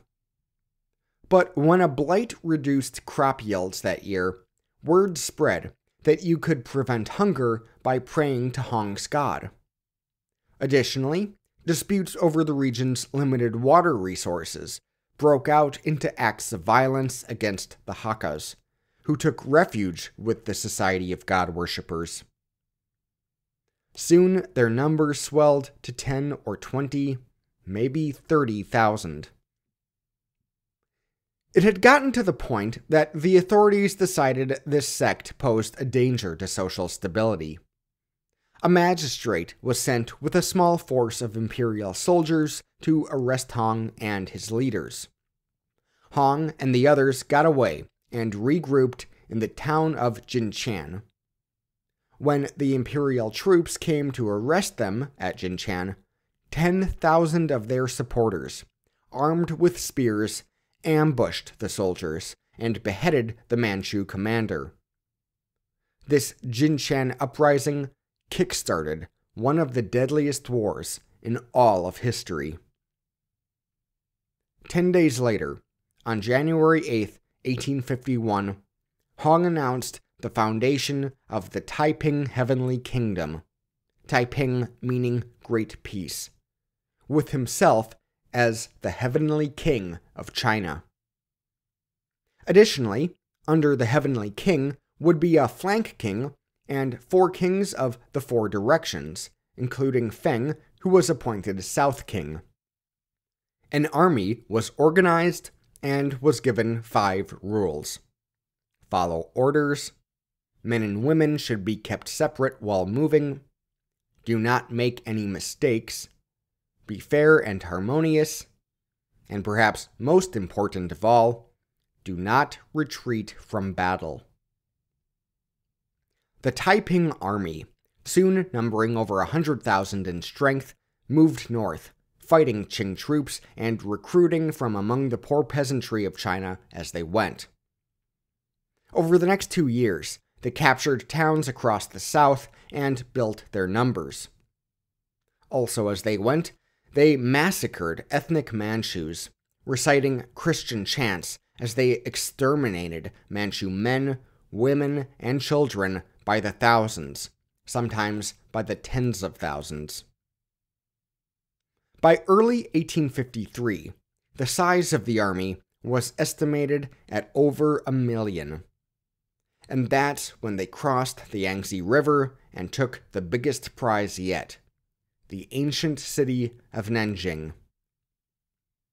Not only was it the place where China suffered the humiliation of signing the unequal treaty with the British, Nanjing had been the southern capital of China under the Ming Dynasty, before the Manchus overthrew them and made Beijing the sole capital of the empire. With this symbolism in mind, Hong declared it the capital of the Taiping Heavenly Kingdom.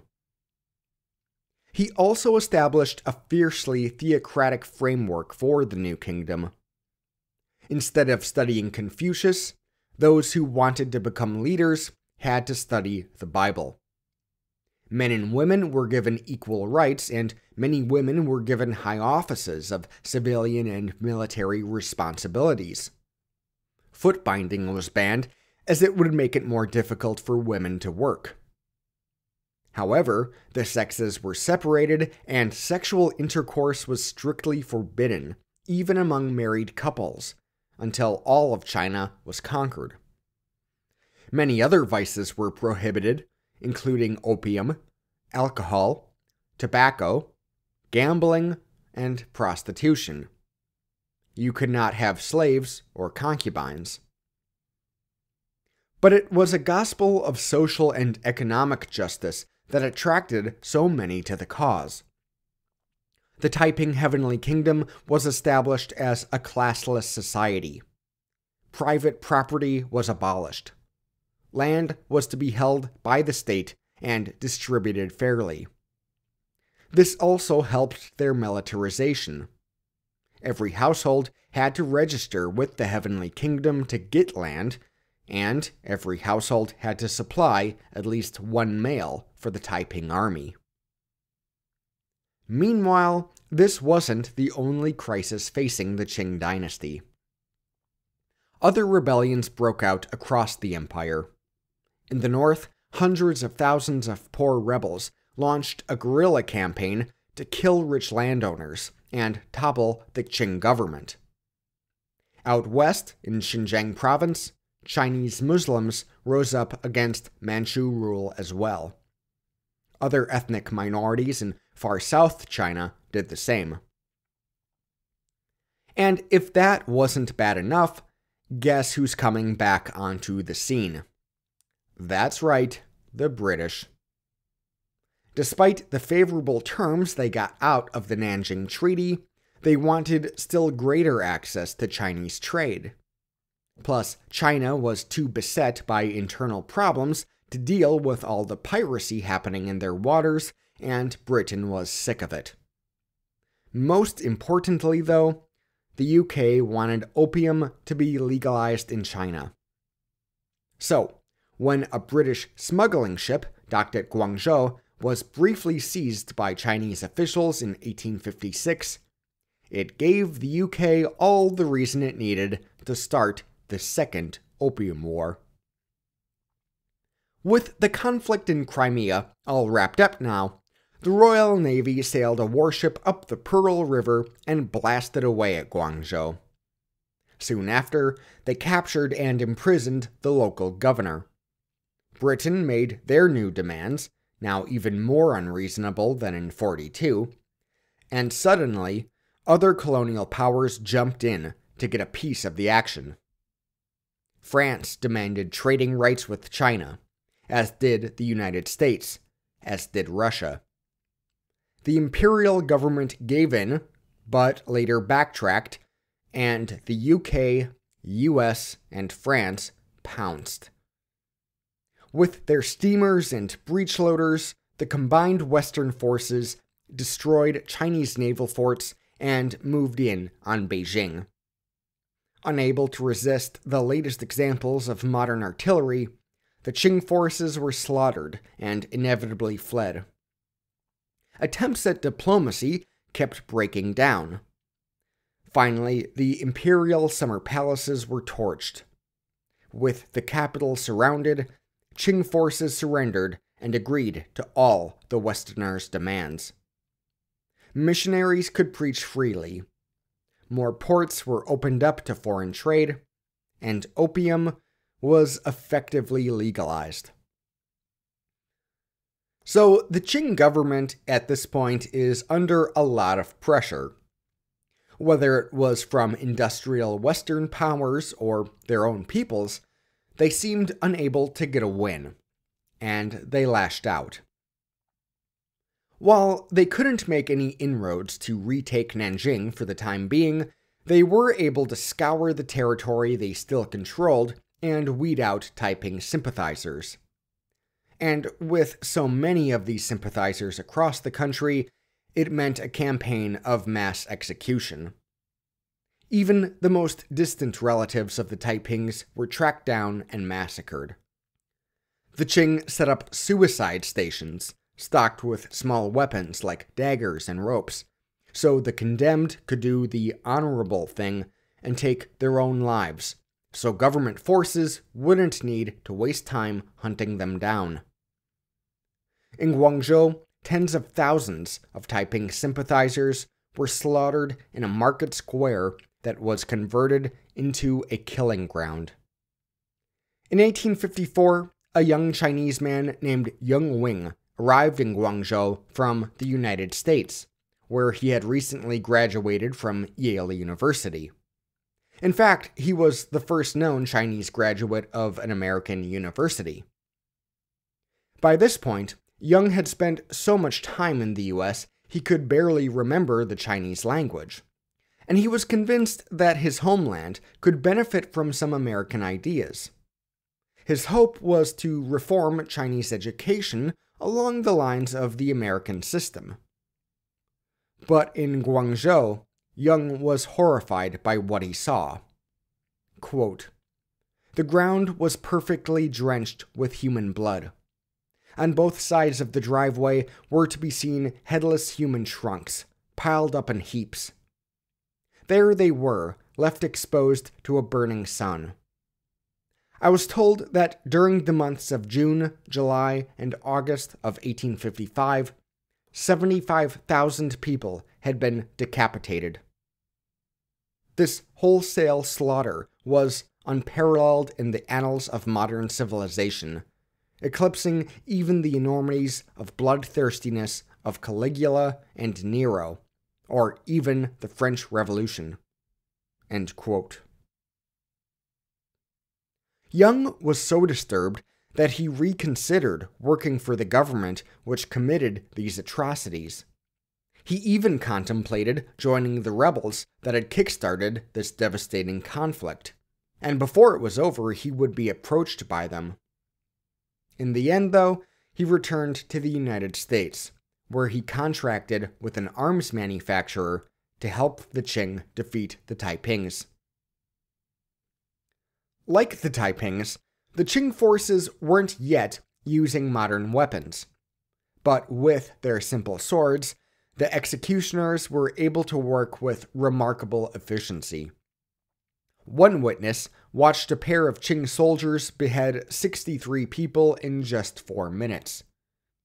To prove they were distributing punishment effectively, the soldiers also cut the right ears off the victims and filled chests with these ears to send to the governor general. The Qing also managed to stop the Taiping's northward advancement by digging a 45 mile trench just north of Nanjing and circling the city, limiting the Taipings to a single supply line. The empire relied some on various ill equipped, ineffective standing armies, often organized by ethnic group and led by corrupt commanders, and some on difficult to organize local militias across the country. But when a career bureaucrat was given a military command, he ended up creating a counterinsurgency called the Hunan Army. And with a goodwill campaign they built among the local population, they would grow in numbers, much like the Taipings had. Eventually, they would march on Nanjing. The Taipings, meanwhile, had successfully set up a shadow state within China, ruling over a huge territory from Nanjing down to Jiangxi province, and from Wuhan in the west all the way to the Pacific. But they would expand no further. In 1858 and 59, Hong's cousin, Hong Rengan, made his way to Nanjing from Hong Kong, where he had spent the past several years working as an assistant to a Scottish sinologist. While in his employ, Rengan learned a lot about Western science and politics. Now in the Taiping court, Hong appointed him Shield King, a role tantamount to Prime Minister.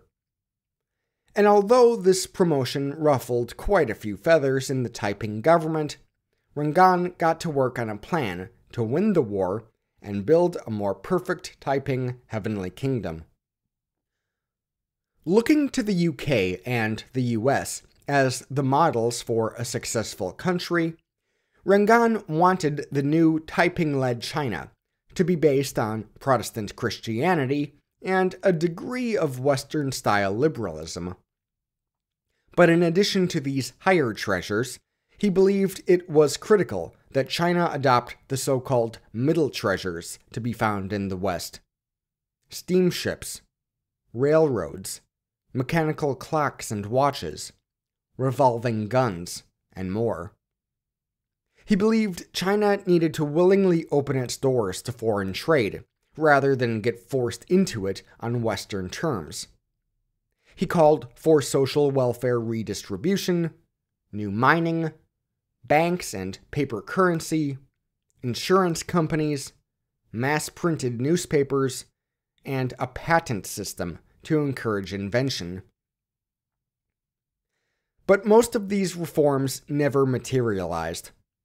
Rengan was soon preoccupied with the war effort, breaking the Qing envelopment of Nanjing and pushing eastward into Jiangsu province. Unable to live up to their earlier southern successes, though, their strategy often took the form of something closer to a total war terrorist campaign. As one onlooker described it from the safety of British dominated Shanghai, quote, The glow of the fires illuminates the sky, and the cries of the people shake the earth. The war created substantial internal displacement.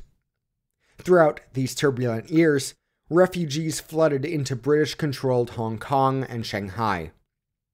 And in the refugee slums of Shanghai, cholera broke out. This foreign disease, as Chinese officials called it, quickly spread throughout China, killing tens, maybe hundreds of thousands. By this point, Hong was slipping.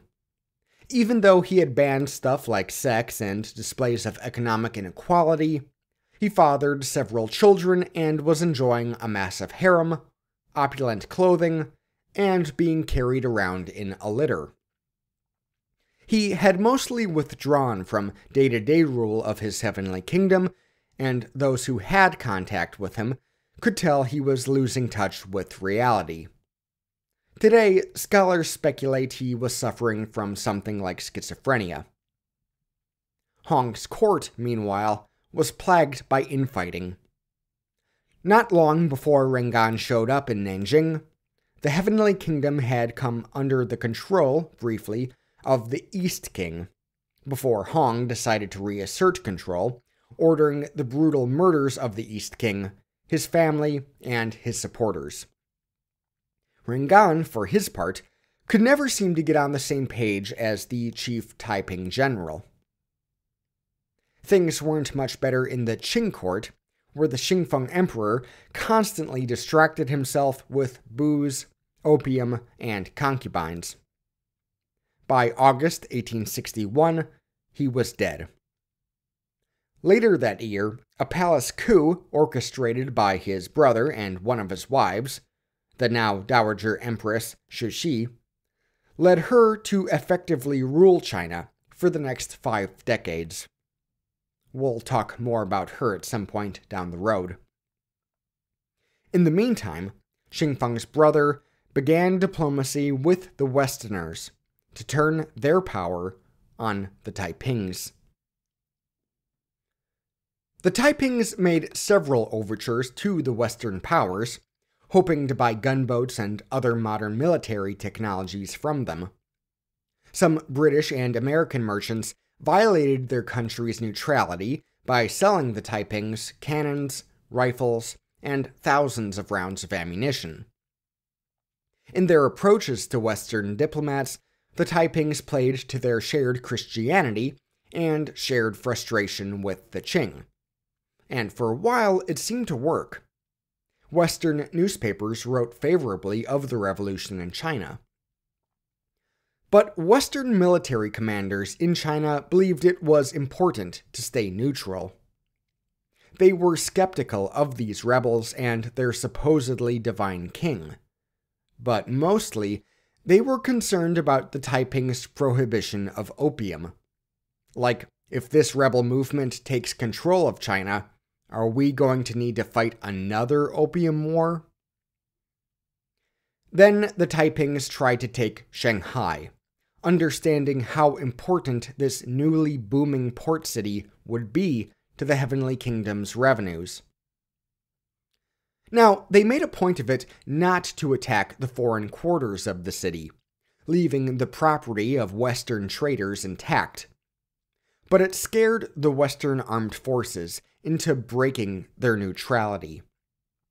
They began selling arms to the Qing forces, the primary benefit of which the Manchus believed would be to frighten the Taipings. And in 1862, British, French, and American soldiers and sailors came to the aid of the Qing army. A couple years earlier, an American adventurer in Shanghai named Frederick Townsend Ward formed a corps of mercenaries to fight the Taipings.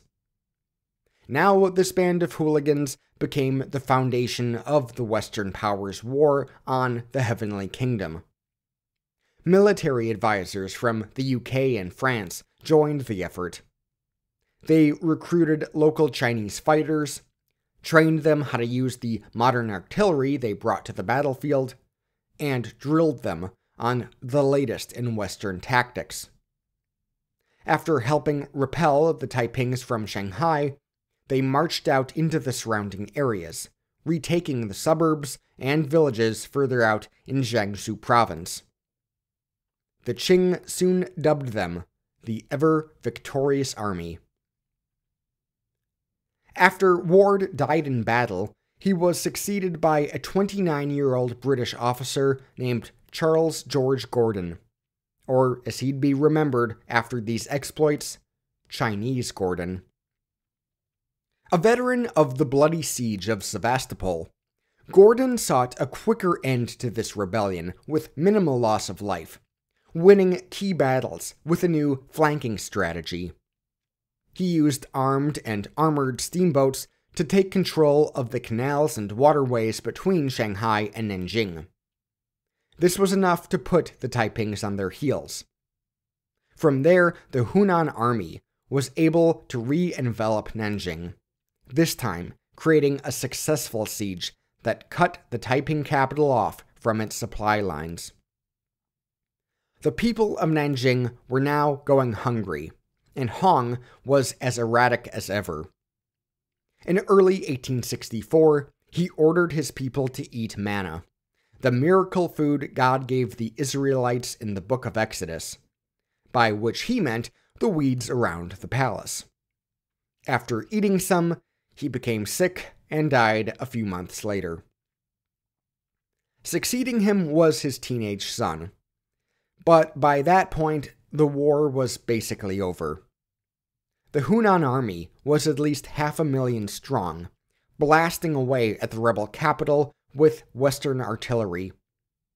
They tunneled under the walls of Nanjing, filled the tunnels with gunpowder, and blew up significant portions of the city's defenses. From there, they stormed the city and massacred an estimated 100,000 loyal Taipings. They let the city burn for nearly a week. When they found Hong's ashes, they fired them out of a cannon to ensure his remains had no resting place. The Hunan army and the ever victorious army then disbanded and went home. Skirmishes with small bands of Taiping holdouts would continue into the 1870s, but for the most part, the war was over. The Qing dynasty was, for the moment, secure again. The Taiping Rebellion had been a devastating civil war.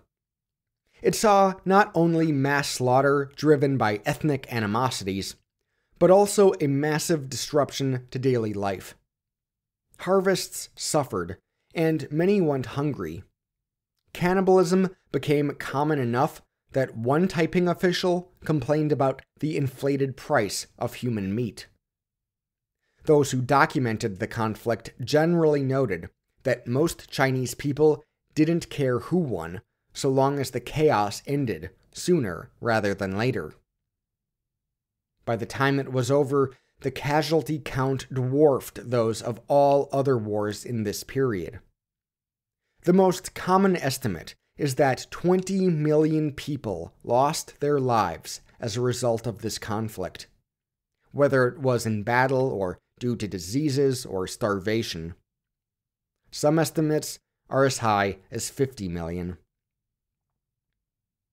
What's amazing about that death toll is that the weapons used in the Taiping Rebellion were mostly pre industrial. The soldiers attacked on horseback, armed with swords and spears, or shot at their enemies with bows and arrows. Gunpowder was used to blow up city walls and fire old school matchlock muskets, which hadn't been used in the West since the early 1700s. But until the Western powers intervened in the end, there was nothing of the modern artillery that we heard about in Crimea, the US, and the Rio de la Plata. It just goes to show that you don't need especially deadly weapons to have an especially deadly war.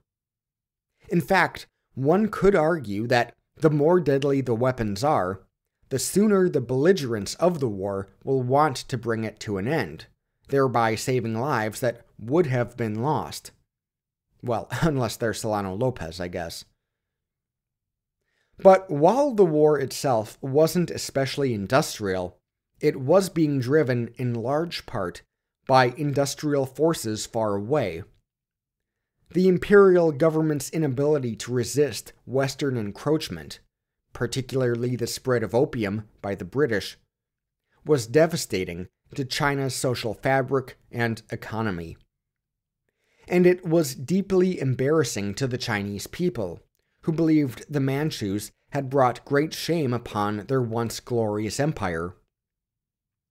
This would continue into the second half of the 19th century, what the Chinese called the Century of Humiliation because while the Taiping Rebellion was over, the problems that plagued China going into it were not. After the fall of the Qing dynasty in the 20th century, new leaders in China began to interpret the Taiping Rebellion through new lenses. Mao Zedong pointed to the successes of the rebels as proof of the revolutionary potential of the Chinese peasant and the anti Confucian, anti imperialist elements of the story made it a key event in the historical trajectory of China, as promoted by the Chinese Communist Party well into the 1980s. But in the context of its time, we can see the Taiping Rebellion through another lens too. It was an age in which, not only in China but all around the world, people with a shared ethnic background, language, and culture began seeking geographic sovereignty along those lines. They didn't want to be ruled by a faraway people in a weird agglomerated empire. They wanted their own states for their own nations. It was an age of growing nationalism. Next time on the Industrial Revolutions.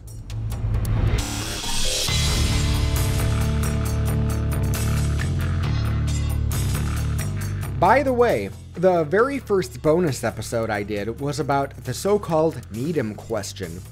The question that asks, why wasn't China, which invented all the great stuff like paper and gunpowder, the country to industrialize and conquer the world? It's among the content you can only get if you become a Patreon supporter. So go to patreon.com slash indrevpod to check it out. Thanks again.